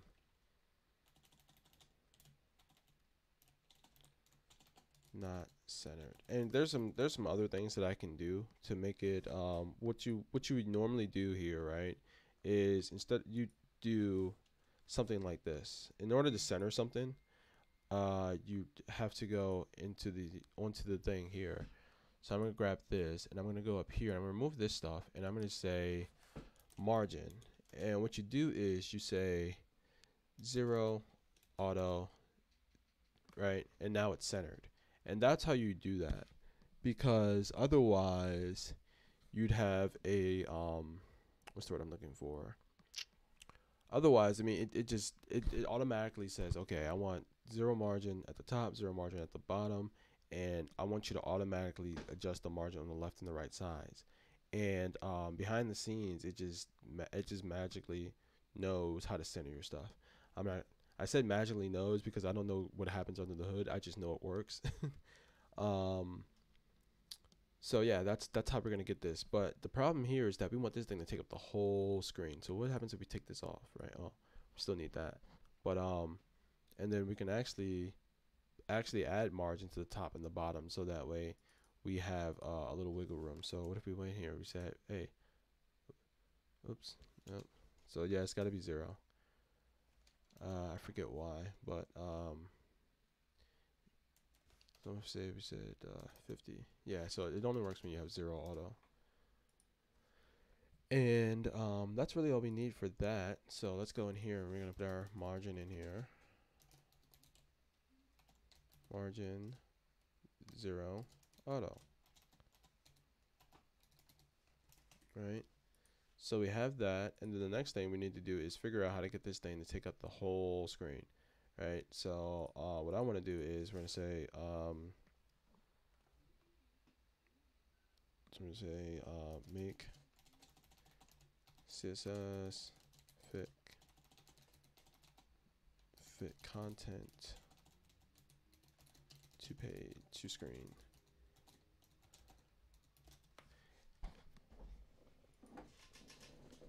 Because I really want this to take up all the space in there.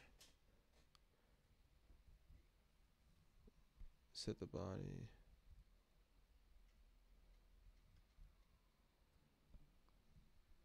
So what if I go over here and do, uh, so what I should, I'm going to do height 100%.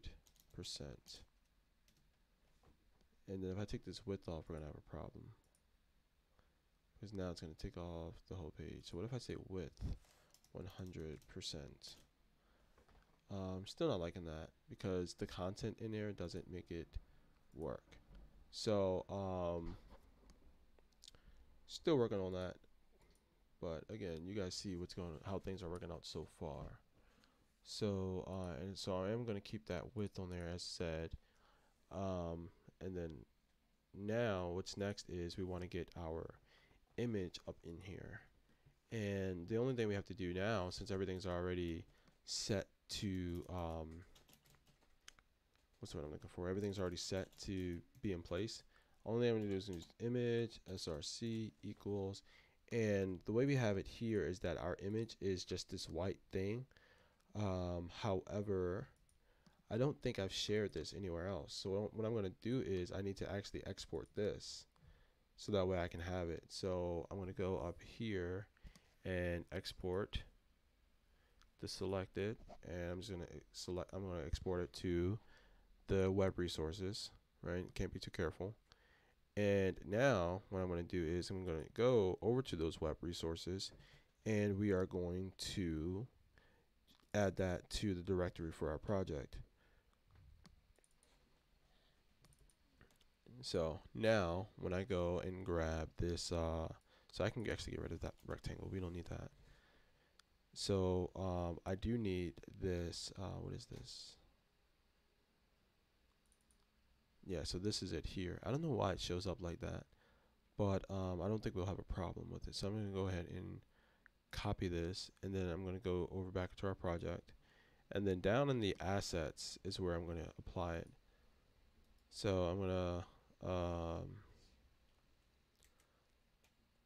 Control V. So I'm gonna see if I can drag and drop it over here. Boom. So now I'm going to import this thing. So that's fine. Um, let me rename this. I'm gonna say logo. Right, and then I'll, I'll add some more um, specifications to it to make it the file more uh, usable. So what I have to do is uh, dot dot slash assets logo.png and I can go ahead and close that. And I'm going to save everything. And you're going to see them they're going to be a bit mashed well probably a little bit more than a bit but um, everything's going to be stacked on top of each other. And uh, we're going to give this a second to reload and then boom look at that. And uh, again like I said before we want this stuff to have some space around it. So what we're going to do is um, in order to get everything centered just right I want to make uh, I forget how to make this thing take up the whole page. Um, what I think I have to do is to go up higher. And when I say up higher I mean in here. So we're going to inspect this thing. We're going to go on in here and let's just say we say height 100%. Oh, look at that. And then we go down and say we want the width to be 100%. And as you see, you really don't have to do that. Once you set the height to 100%, you're good to go. So now we got to get this image centered, right? So in order to do that, we're going to say, um, Oh, I see what the problem was. We didn't have everything. Um, um, so what I think I can do is I might be able to grab this and just put this a little higher now. So now all the elements going down should be aligned or um, like as a comma, as a column. So I'm gonna go over here and uh, I'm gonna actually import this, uh, oh, I already have it installed. There's another um, library that I want though. I think I might have to set in set up the conf config for this uh prettier. Because uh, I want some more stuff going on here and it I'll look into that stuff offline though so I don't uh waste it you guys' time. Oh I didn't screw something up. Look at the console. I didn't screw something up here because now I'm not seeing my stuff showing the way I like it uh, I see. I had two class tags on that thing, and uh, I only needed one.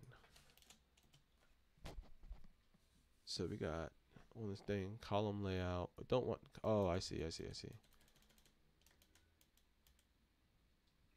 So I can grab this column layout. I'm gonna see what happens if I cut it out.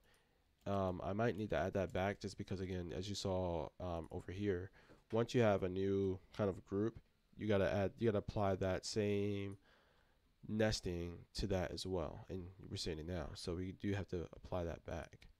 So um, let's go ahead and apply that here. And um, we only need one button. And we actually don't want this button aligned um, like everything else. So but I do want this stuff aligned. So we can always change that. And what I'm to do is I'm to say uh, this button's to be log in and then uh, the primary color uh, oops. Primary color should be um, different. So what I should be able to do is um, as you guys see over let's see. Let's see if I can find a input field with a button on it. Actually let me go here to button. That's what I want. And I'm just gonna go over the examples. Reason being is I want to see this blue color should be the primary color and I just want to see the way they have that set up. And the only thing they did is the color equals primary. And the primary color for my stuff should be um, should be that purple I believe. Color equals primary. And let's see what we get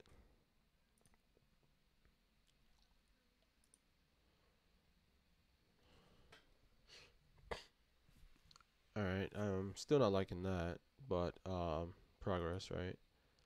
Uh, didn't add the column layout back to the class.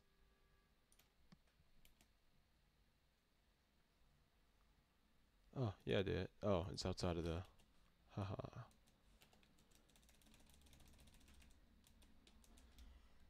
And at this point, the only thing we're doing is it's HTML. We haven't even done anything um, real Angular. I mean, these elements we could we could have created our own. Um, that's the only piece of Angular that we're really using right now. And then, um, you know, we we can always have that in there. And I just want to see how I have.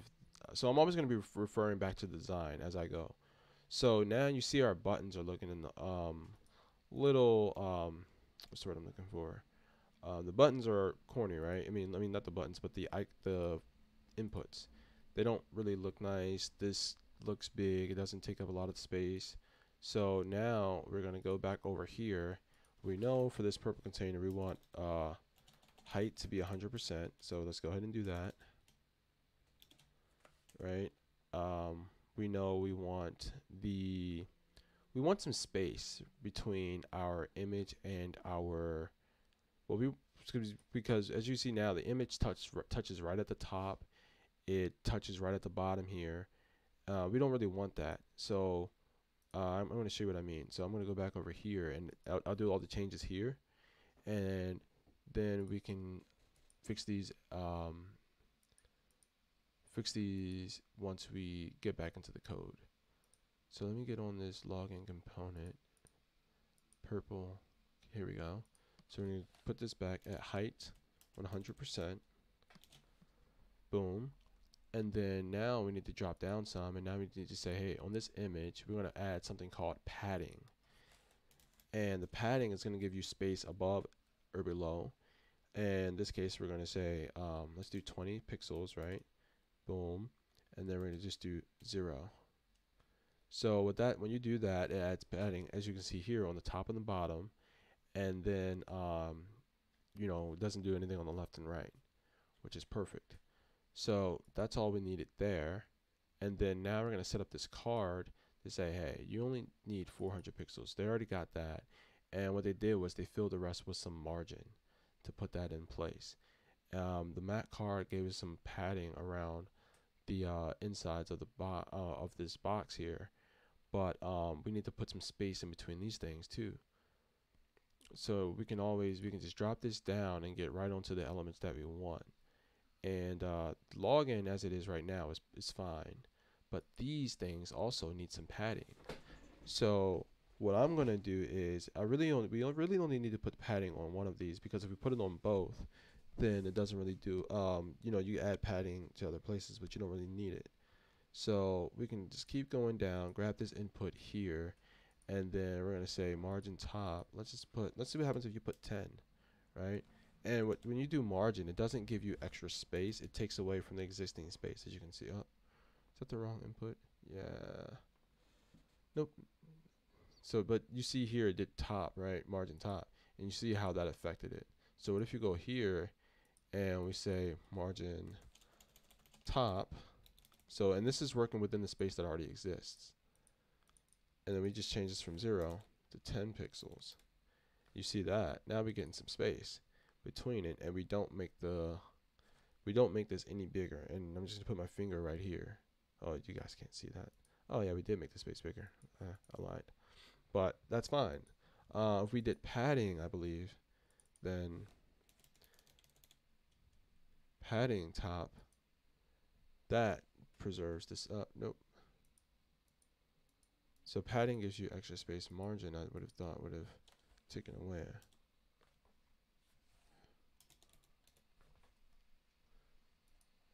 And then if you do negative, you can't do negative padding, but you could do negative margin.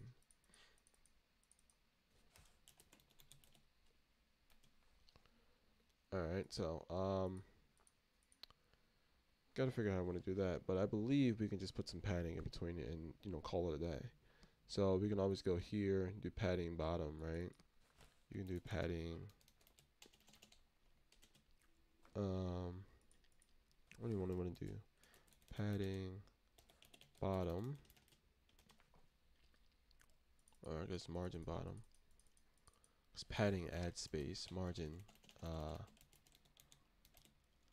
margin bottom there we go so that's how we get our space and as you see here margin takes away padding adds to it. And if you think about it you know if you have something here and you add padding to it it, it, it adds to it. When you do margin you're like hey take away that space. So now we, we but it adds some spaces hey I want you to have some space between these things. So there we go. And um you know, if you look at the design, it, we have a lot more padding uh, margin on the bottom than we did on the top. We could so we can keep this 20, and this is all um, relative, right? So you know we can go back to our um, where's this here? We can go back to our image, and instead of having that 20 pixels all around, we can just say, hey, padding top is going to be 20 pixels, and then we're going to say hey, the padding on the bottom is going to be twice that. And then we can say 40 pixels. And then look at that. You, have so much more space. Or, you know, since this, you know, whatever the center is for this, um, we can do that. And then you make sure that these things are spaced out. So you see the padding is showing between the bottom and the top and uh, like I said, you have you have free, free reign on this, and um, you see the way these input boxes look. They don't really look that nice. So um, what we're gonna do is let's let's start with what we had, right? So let's work with our image, and let's say um, we do dot uh, logo, and that's really all we need. And then we're just gonna put that padding top on here and that was 20 pixels and then we're to do that padding bottom and that's 40 pixels and I'm using pixels um, I, I've read some you know documentation well not documentation I read some blogs and um, some people don't really like using pixels and they say you should use other stuff. Um, I mean, to be honest, I I haven't read enough into you know the different CSS stuff in terms of design, so I'm not really that familiar with the different uh, the different use cases, how to use it um, to the most efficient way. But again, I mean, if you're designing one way and you're keeping in mind that your your code is well that your um your stuff is going to have to work on a lot of different screen sizes what you can do is create media uh, queries so that way you can account for those different sizes and um, as long as you're being diligent in that you're you should be good to go um, because I mean you it's I'm not saying you can't but uh, and if you if you do a really good job of implementing those media queries, you shouldn't have any problems. So um, I forgot that we need to add our fixer here. So let's go and while we're while we're at this, let's go and look at something. So we can't actually work with these. Um, we won't be able to play around with this in the terminal. Not in the terminal, but in the uh, wait. Uh, sorry um but yeah you, you can't really test these because these aren't like html css stuff. So when you try to do this stuff in the browser it won't know what you're doing. Um but and we're since we're, we're not even doing code um, buttons i'm sorry we're supposed to be at input. So let me go up to input.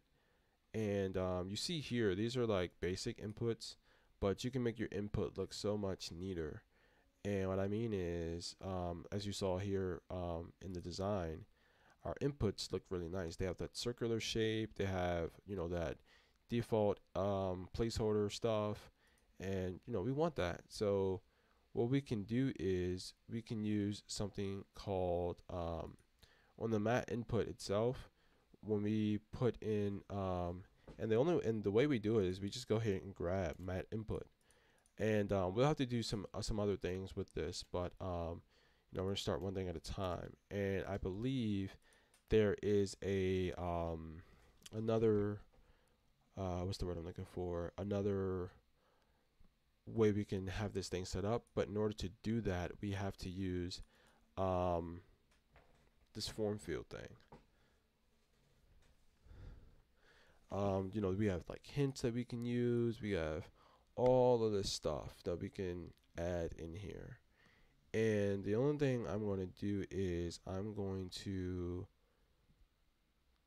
tech. Uh, I'm looking for. Um, there's a another they call directive or property on this mat input that we can use to change the way the style of the input looks, and that's what I'm looking for. So uh, just give me a second to find that. So it should have been at the top though, if I remember correctly. So what I'm looking for is the space around it. So if I remember correctly, so like you have like the suffix, right?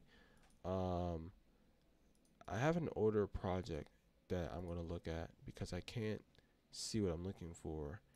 Um, so I'm gonna go and look at another, an older project. And first, let me just look in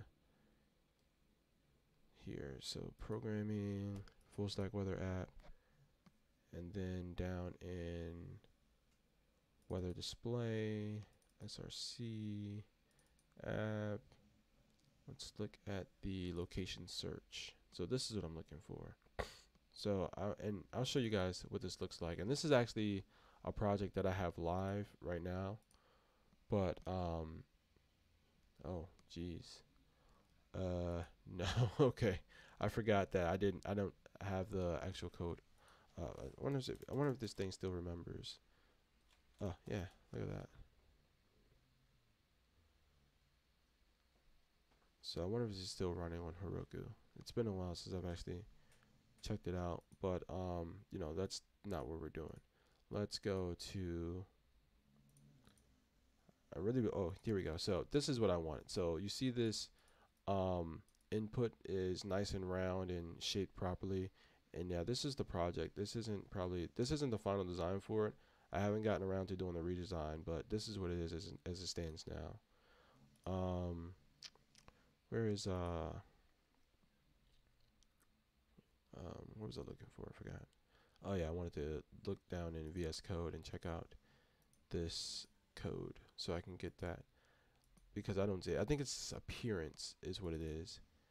It's a property called appearance, and they have different things for it. So I should be able to just control V it uh, up here in Angular. So let's go here, control, not control, control F. Uh, might be able to do it here.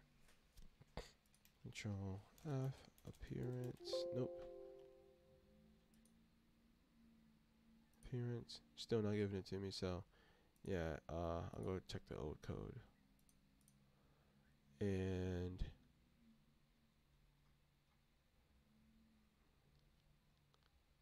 close all these. Alert, current weather, forecast, location search. There we go. Huh. So it is just the mat icon that does it. I'm almost certain I used uh, something else up in here.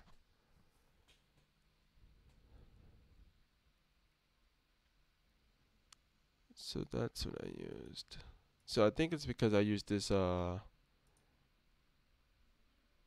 nope, can't even say that. Because the mat input might, so the mat input alone might actually do that for us. Um, I'm not sure. So let's say uh, you go mat input appearance. I know I'm not crazy. So there we go. So now you see the, so I, I guess we do have to use the form field. So this is what I was looking for. So it does have to be on the form field. and that's actually where we're getting to. So um, each of these is going to be a in the form field, these inputs here. And um, I want to nest these. So I'm going to do mat form field. Right, drop this label up in there. And then, um, actually, since these are the same thing, I'm just going to write it once and then copy it. So now that we have that, we're going to do a something called uh, mat label. So we're going to do mat label. Actually, I don't think I have any labels on the design. Yeah, no labels. So just placeholders. And uh, we can see all of that over here. So placeholder, right? You we go back and look at the code. This one says legacy form field, right? You see that there. Fill form field, and you see the placeholder text right there. Wait, fill form field. Oh, so we can just use the label, and we don't have to worry about the placeholders after all. So um, the mat label here is just going to be um, email, right? It's just an email. And um, the next part is the, so let me just go to the mat form field uh, stuff. Oh yeah, right here. So what we do have to do is we're going to set that appearance and that appearance is going to be outline. So let's go my form field appearance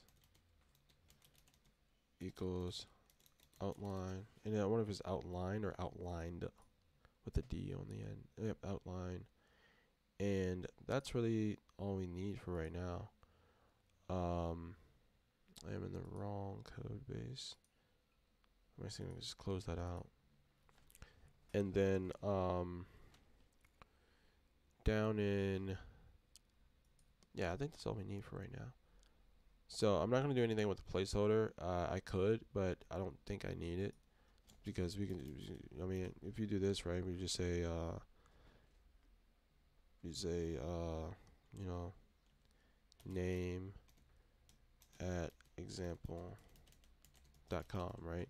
If you wanted to say, hey, this is what your email format should be like, but everybody should know what an email, you know, looks like, how it's supposed to be.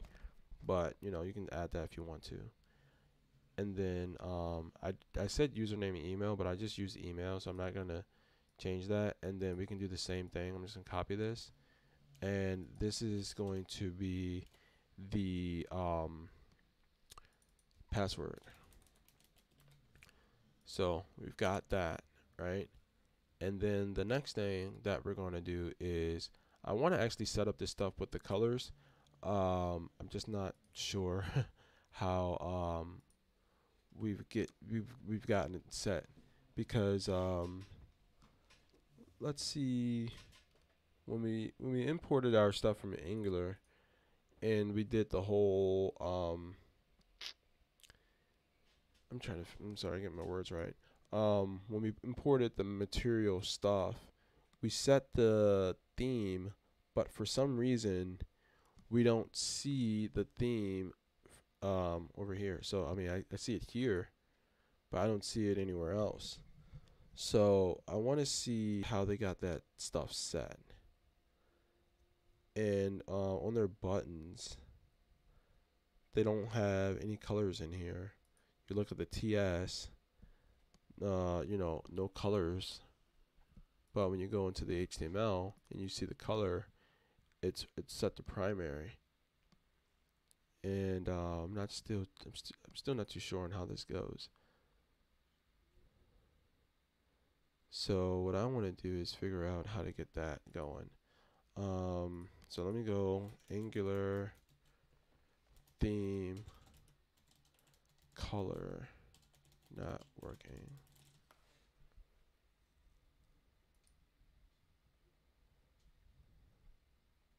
What's more? The colors are not displaying. Oh, oh, okay. So this is what we got. I gotta get this. Uh, so let me go ahead and just add the imports that I need because we're gonna need quite a few. We're gonna need um, a few modules. So we're gonna need the we got the mat card module. We're gonna need mat input module we're going to need the uh, mat button module. We're going to need the mat um, form. Well, I think that's a. Do I need a mat form field module or mat form module? No, it's not form field, but I don't remember what it's called. So let's go into the form field and let's go to and there's one thing that I can do is I can um, create a module for all of the uh, material stuff and just have that be its own thing. And then I'll get the module here mat form field module. Okay yeah so that's exactly what it is. Um, cool. And I'm trying to think of what else I need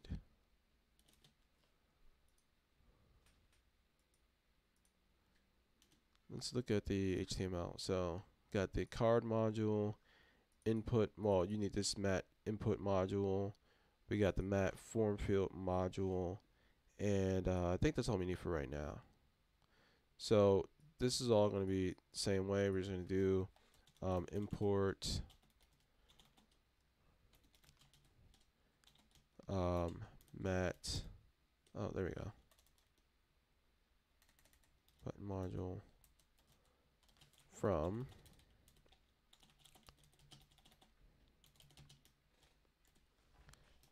at angular material slash input. Oh this supposed to be buttons but I'm going to copy this because I'm going to need it. Button.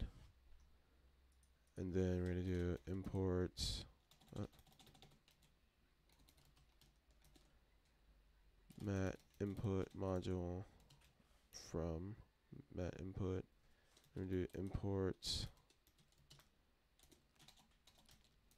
mat uh, form field module, and I'll just switch this to say form field, and uh, that's pull everything in.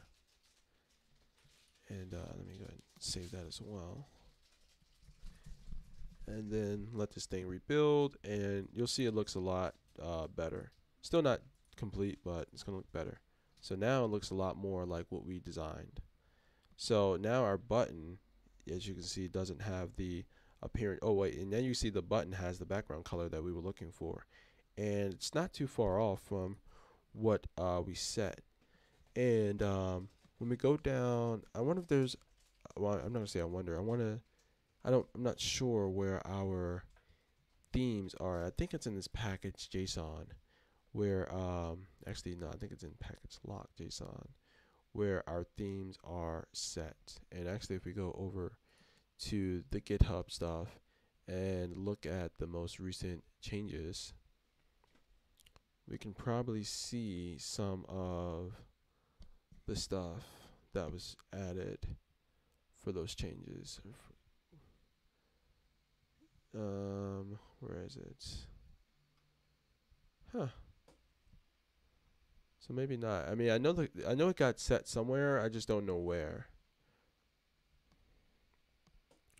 Because if I can find those themes, I can um, we can modify and make sure that the color matches. But um, as you can see here, we already see that it, it at least works, right? So um, and now look I mean look at this. I mean this is practically what we had um, when we did our design. So and you see how fast. I mean it takes a while, but I mean it, it's still relatively fast when you um, think about you know what we have here. And this isn't even the full thing, right? We haven't make it done. We haven't allowed it to do anything. And you can see here when you click on it, you see the placeholder text that we created, and we just have to fix this, right? Of course.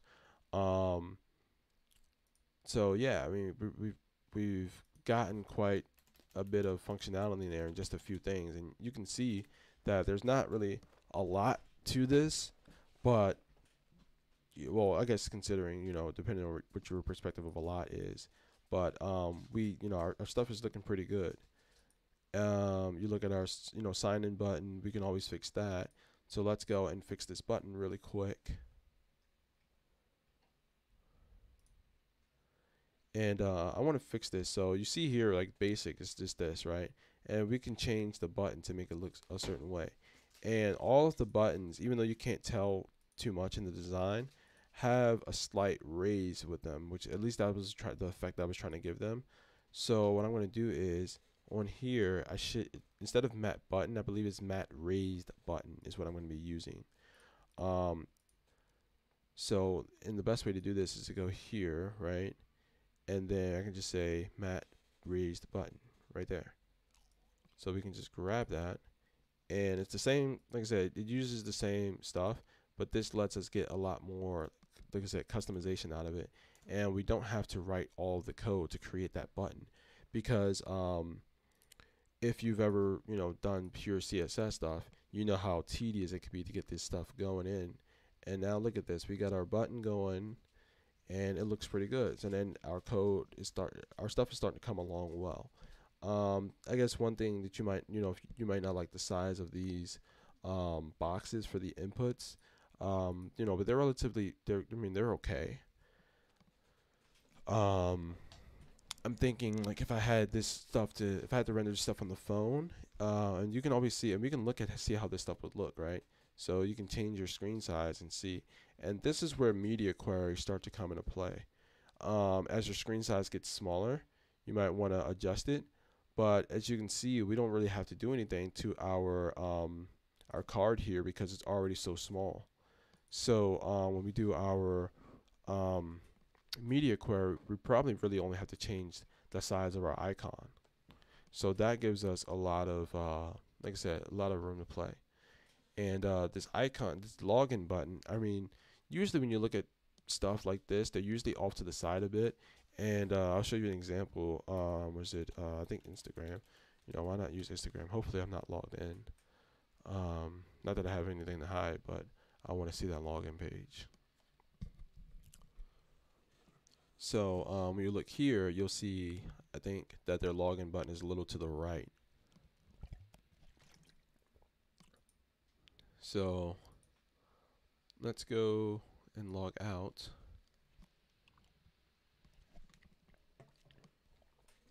Um, if this thing responds. Let's just see. Oh. What if I just a uh, sign out?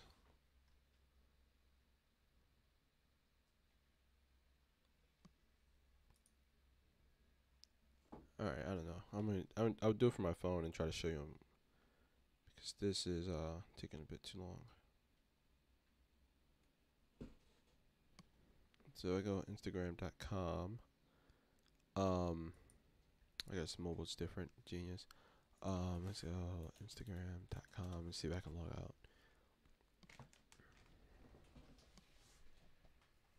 Alright, so it's taking me back. I'm trying to figure out how to work this thing. So I guess I was clicking the wrong thing.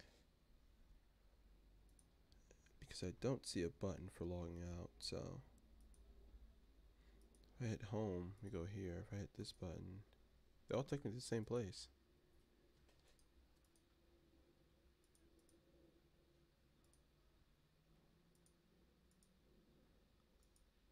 So all of these other buttons are working, but uh, for some reason it's not working. Um, but that's fine. So I'm just gonna go um, Pinterest, and uh, see what they show. All right.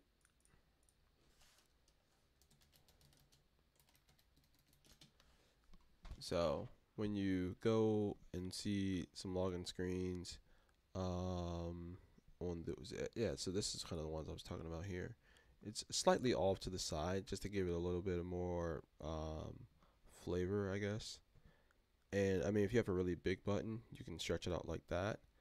Um, I can. I just didn't want to do too much with it when I designed it, so I, I kept it pretty simple. But feel free to change it. Um, I'm gonna leave it like this, and then what I really want to do is I want to put it over here. So what I'm gonna do is, and just to make sure that this is what I'm doing, I'm gonna inspect this. I'm gonna click this little thing here because I can just hover over the button, but it's already selected, so I don't have to do that. And what I'm gonna do is I'm gonna take this stuff off, and um, well, it's already apl- automatically applied apparently. So what I'm gonna do is I'm gonna go up here, and I want to say align self, uh, and I want to do flex end. Oh, that didn't work. Let's do content. Align items flex end. Oh, it's not display flexed. So I need to adjust this. I need to say um,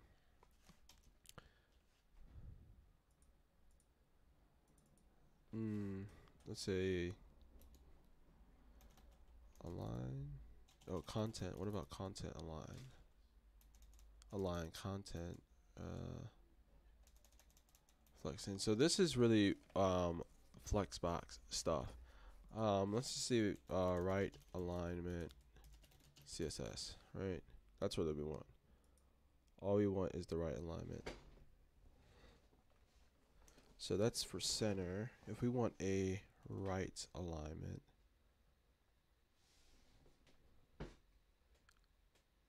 I don't. Um, I forget what the float property does.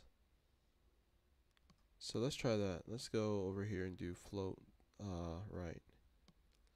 Let's just, we're just go here. We're gonna say float. They all float. And we're gonna say I want you to float to the right, and I don't think this is working. Float uh, right, and then uncheck these. So yeah, it's, that's still not getting it, and it's probably because of the alignment that we uh, gave it from its parent. And when I say parent, I mean all the way up here. Because um, this stuff inherits everything that's given to it. So, oh wait, so I know what to do. Um, I need to say align Align self should have done it then. Align self um, should have fixed that because um, what happens is when you're passing down all of these inheritance, you can change. And what I mean is, um, when we go over here, right, and we set up this column layout, we already said that, that everything's going to be displayed a certain way and it has to be aligned a certain way. Everything's aligned to the center. And um, when we go over here and we look, we say, okay, align everything to the center. So this is, whole content is aligned to the center. All of this is aligned to the center. All of this is aligned centered. However, we want this to be aligned slightly different. So I think when I was applying all of the stuff, I needed to apply it here. And now if I say align content uh, flex end, we should start to see some different behavior once I figure it out. Let's say end. Um, so this might take me a second to figure out. But um, let me see align self. But it's definitely one of these. Oh, there we go. Start, I guess then. Well, flex end. So yeah, so that's how we do it. You you put align cell phone there because uh, initially we are like, oh, hey, we're gonna align everything center, and I like, no, no, you are gonna be aligned a little differently, right? And then um, as you see here, these are all the values that we can have for this thing. So um, we can set it here, but that's a little too far, right? We want this thing contained right in here. So I'm trying to see if I can align this thing relative to this. Um, CSS align relative to another element.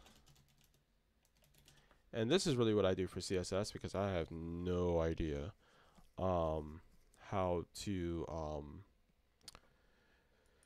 how to do these things sometimes. I mean, it's just it's a lot, you know, when you think about it. So, I want to position four div elements to every single div. I want to insert four divs at its corners. Um. So what I can do is position absolute will position the element by coordinates relative to the closest position ancestor, closest parent which isn't position static have your four divs nested inside the target div. Give the target div position relative. I'm sorry, I'm trying to get something out of my pocket because it's making me sit at an angle which is putting pressure on my back and hip. So so this is what we can do. I mean, I really didn't um, I'm not going to say I didn't want to do this, but um, I try to keep things as pure if that makes sense, using the libraries provided. But um, that's not working. So I can still do the align self. And uh, I think it was, uh, there we go, flex end, right? So now we have this here. So now what I want to do is I want to say, hey, the position is going to be not absolute. Uh, doesn't matter. We can keep it relative. And then the only thing I want to do, I want to say, hey, I want you to come back to the left a little bit. Oh, I guess it's right. Right. And I want to say, hey, I want you to come to the right about eh, 60 pixels. Nope.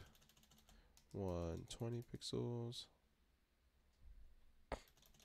Let me say, hey, left or right because we're all setting it to the right now. And they were saying, hey, you're going to come 120 pixels to the right. Oh, too many. So now let's try 100. That's close. And at this point, we're eyeballing. Um, you know, if we do 90, you're like, oh, okay, you're kind of there, you're kind of not. But if we go, you know, 105, you know, we're, we're pretty much right here. And I'm literally going to take a piece of paper, line this thing up. and be like, oh, nope, that's too much.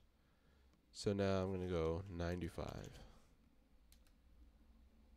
And, and I'm, let's try 97. 98. 99. And that seems to be about the sweet spot there. Alright, cool. So 99 pixels to the right. And there we go. So I'm actually going to copy all of this stuff that we just created right here. And then I'm going to go down in here. And now I'm going to say, um, you know, button dot login dash button. And we're going to give it these styles. And now we have our stuff. And I'm going to give this thing an ID equals login button. Login. Right. So now when I save all of this stuff, it's there by default. Boom, look at that. Oh, maybe not. Oh, I never added it to the HTML. Oh, yeah, I did. But I didn't, oh, I didn't add the class, yeah. So, class equals login dash button. And that's why, um, the reason why do you see how many times I go, I save something and go and check it out. And that's the reason why I, um, oh, that's interesting. That's the reason. Well, I was gonna say the reason why I um changed some. Uh, I lost my train of thought. I was not expecting that to happen. Um, but that's the reason why. Um, but this, the, the fact that we keep loading and changing and checking, is the reason why I ran our server over here because I wanted to have our terminal in this workspace open to do stuff in case I missed something, needed to add something, and um, wanted to have another way to do that without having to keep jumping around. So uh, I'm just gonna go back on this button and figure out what uh caused this because I wasn't expecting that. And I oh here we go. So I think I put this down too low. I think this was supposed to go up higher on um, the card actions because I forgot the parent. Um, this is already, once we get here, it's already too late. We need to add it higher.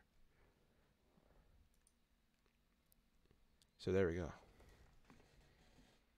And that still looks off to me. I'm sorry. um, no, I'm not really sorry because I'm very particular about this stuff. Um, it seems like, oh, my paper must have been crooked the first time because this ain't cutting it. So let's see how many, how much more we got to go. So I'm going to just grab the button element again. I actually need to go up here and uh, let these trials go commence. So 101. Eh, not quite.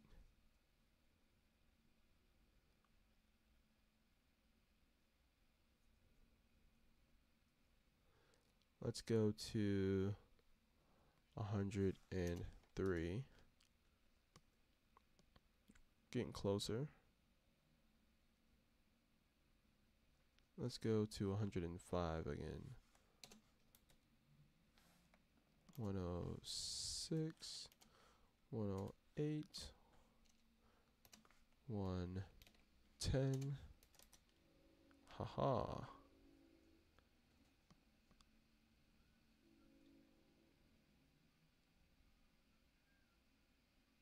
There we go. So I think the sweet spot is going to be 109. That's as close as we're going to be able to get. And uh, that actually looks pretty nice. So now we got this thing aligned properly. So I'm going to just go down in here and uh, just make this 109. And boom, look at that.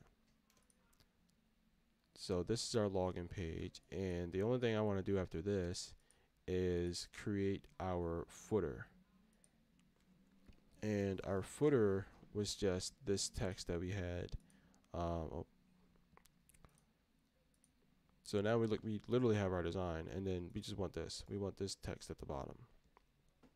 So I'm just going to copy that text, and I'm going to go back over here, and I'm just going to say, um, I don't want this to be. I want this to be. I'm going to just make it a span.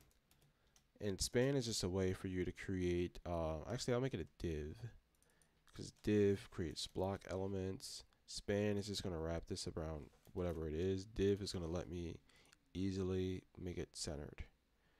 And um, yeah, so and since I'm using this twice, I'm just going to put, uh, I'm just going to create a class called center. And uh, I'm going to copy that in there. But before that, I'm going to just Actually, no, I'm going to use a span. And the reason being is because I have text going in here. And uh, I want to make sure that, because with a span, I can just paste my text in there as raw text. Uh, I thought so, anyway. Um, design, there we go. Control C, and paste that right up in there. Then here we're going to say class equals um, login footer. And I'm being very specific with these because um, if I start to notice I have overlapping class names, that'll help me remember which ones I need to move. And actually, no, I don't have to do this at all because we already um, we already have this thing being centered automatically, even though it's not um, because we because of this. Everything's going to be centered, and um, I want to put some padding in this thing though. So I want to say uh, dot login footer, and I think I need about how many relatively speaking, right? Uh, if we go back up in here, and we say hey, we want this thing right down here. So if this is only 40 pixels this is probably going to be about 200 maybe even 300 pixels.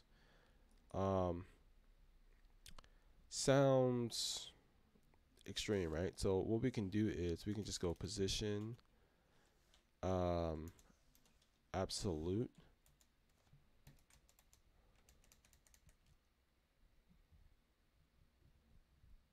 Right and then we're to set it from the bottom, I believe. And then I can just say we want to be 20 pixels from the bottom and see what happens because I'm not sure what's to happen.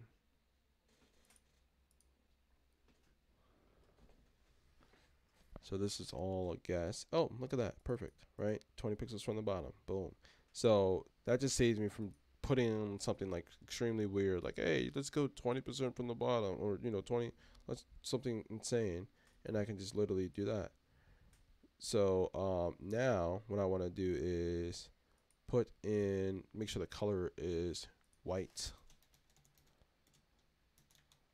And I can just type in white. Because I believe that's the color here. Yep, color's white. And uh, that's really it.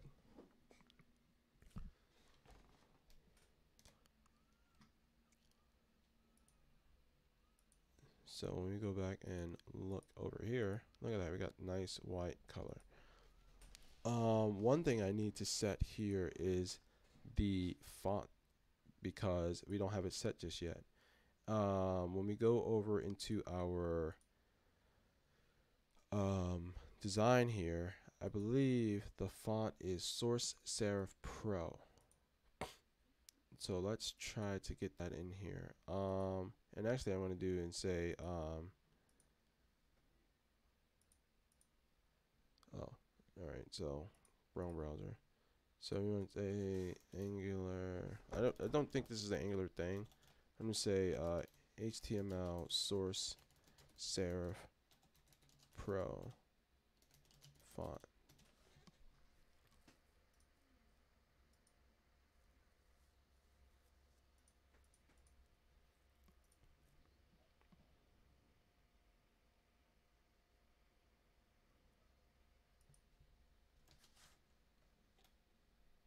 Uh, let's see, source serif pro font in HTML.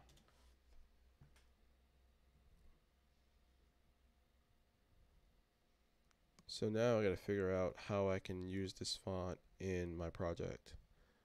Um, import font HTML. That's what I want to do.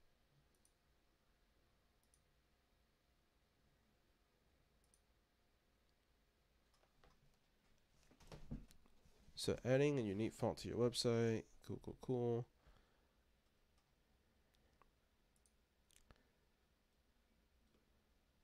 Upload your .tv to the web font generator. Typically, this kit, uh,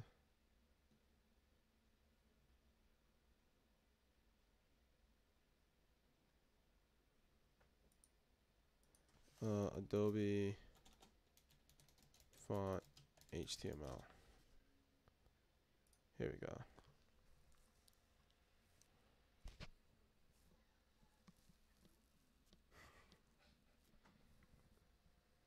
So that didn't work. Using web fonts in HTML or use newsletters. So I wonder um, how I can get these fonts coming into. So this one loads. Um, so here it is here. Follow the web font tutorial to choose the fonts you want to create your project.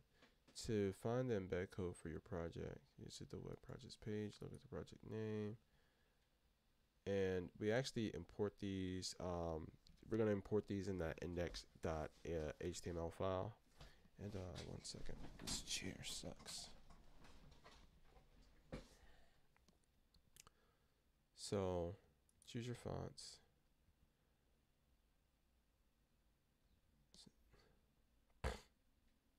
So I already I already chose my font. I guess I have to create a web project and then grab that thing. So let me try that. Uh, I want to just duplicate. I'm gonna um, Adobe fonts. Adobe fonts.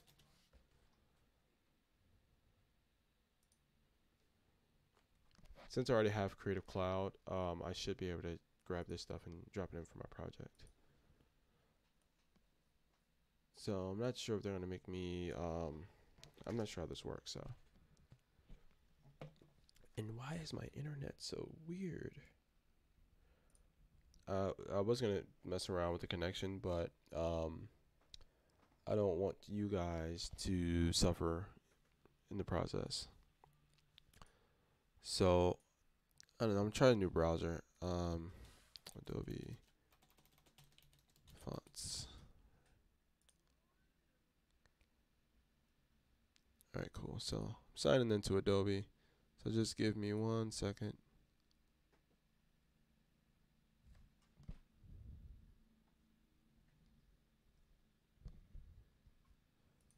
Yeah, look at this. Oh, that's nice. I didn't know that would happen.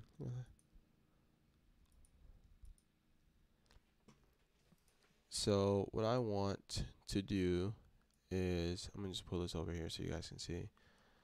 Um, web projects. Let's do this. Um, ready to start. Find a front new line. Use the button to create a web project. Cool.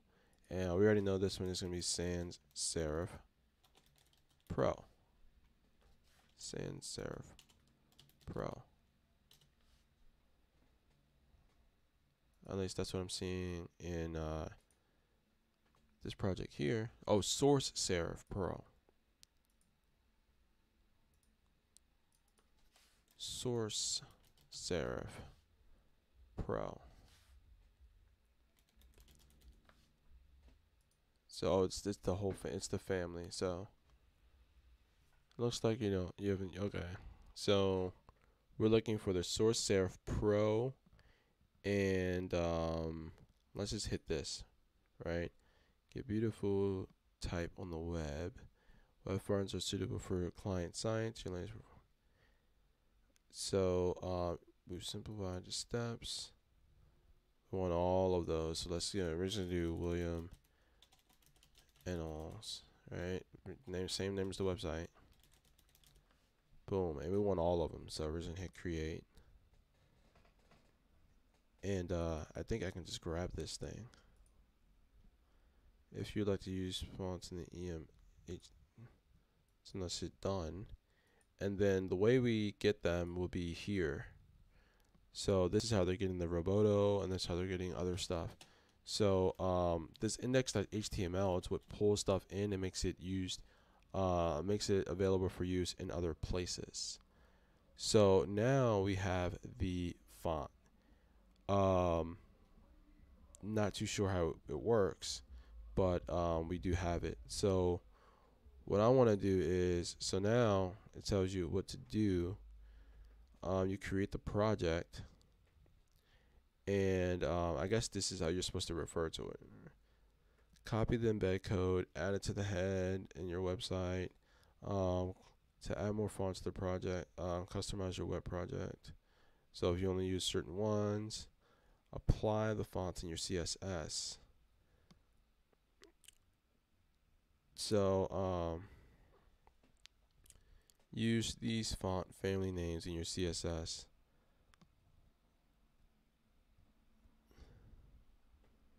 So, hmm. Is it?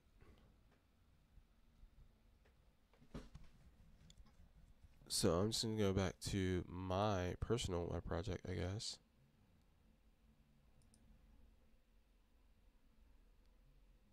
So I should have one somewhere.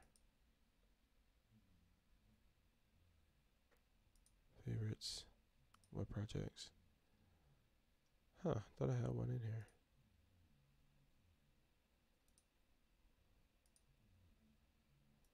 Could have sworn I just did. Okay, so let's do source. Serif again. Source serif. and then um, we're gonna hit that add to web project thing again so that's already there um, that's weird um,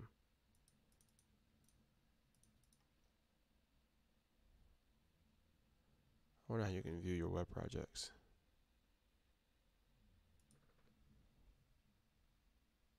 my Adobe fonts I guess right and then web projects. I wonder if there's a way I can. Oh, there we go. Um, I just want to figure out how you actually use the font once you get it embedded.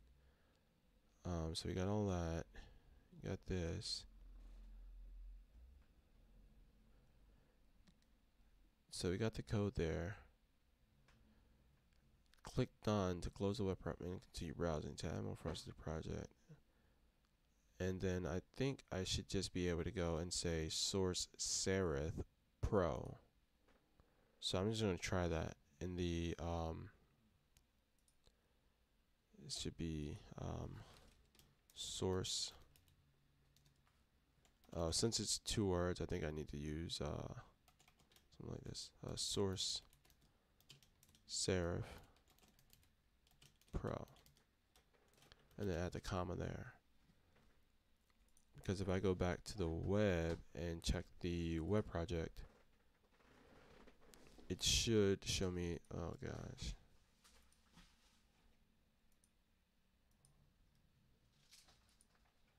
I don't know why they this is so tedious. It's probably because I'm using the back so the caching is the same so now if I go to it it should be there okay here we go so go down. It doesn't tell you exactly how to use this thing, but I think I just have to do this right here. So I can click on that and see it there, but I don't want to do that. I want to see how I can, oh gosh. Alright, eventually I'm, I'm going to learn to stop doing that. um, so web projects, and I think it's because, it was, okay, there we go. So let's go to edit web project. And now when I do this, I think um, okay, so now when I go to font style, the also I have to apply different font weights. So in this particular case, I can just copy it. So when I go down into the um, what is this? Into the design, I go here and I see the Source Serif Pro. It's regular and it's font size 24. I can be that specific with it, or I can just leave it the way it is and say, hey, fonts family is going to be default Source Serif Pro. And then from there, the um, what is it? Um, regular, right? So what I want to, well, actually, let's just go ahead and save this first and see if this even gets pulled in. So let's take a look at the font right now and then wait for the page to reload and see if it changes. And it did. So look at that. The font is a lot better and we didn't even have to do anything. So now what we want to do is we want to go onto this font over in the in over here and we're going to say um, font weight I believe it was 400 pix uh, pixels. And then we can easily just copy the CSS for it right here. So they Adobe does make it pretty easy for you. You could literally go over here say oh it's regular? Okay cool. I'm just going to copy the CSS and then go back to the code and just paste it and see what happens. So boom. Look at that. Font style normal. Font weight 400 font family source serif pro. And uh, I guess this serif is like the backup so it specifies a prioritize list of family font names or generic family names. A user agent iterates through the list of family names until it matches an available font that contains a glyph for the character to be rendered. So that's all we had to do. And um, I don't want to do this everywhere, so um, I'm just going to take that out. And um, we're good to go. So in this index HTML, we can always have serif as a backup.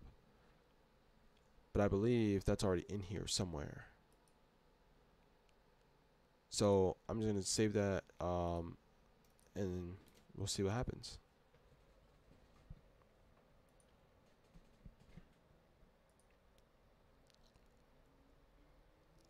And boom, we still got it going. The font is a little thicker and it looks nice. Same here. I didn't really think about how I want the font in here to look, but it's going to treat this the same no matter what. So when somebody's typing, you know, we don't we don't really want it to be fancy anyway. So hey, eh, eh, eh, you know, you can type in here now. However, this doesn't actually do anything just yet. So what we what we're going to have to do is we're going to have to do something called oh we're going to have to create um form our form for, we're to create our form and then on top of that we're going to have to do some things down in here.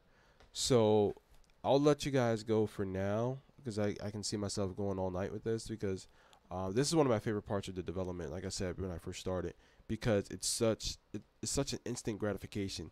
You type something, you see something, right?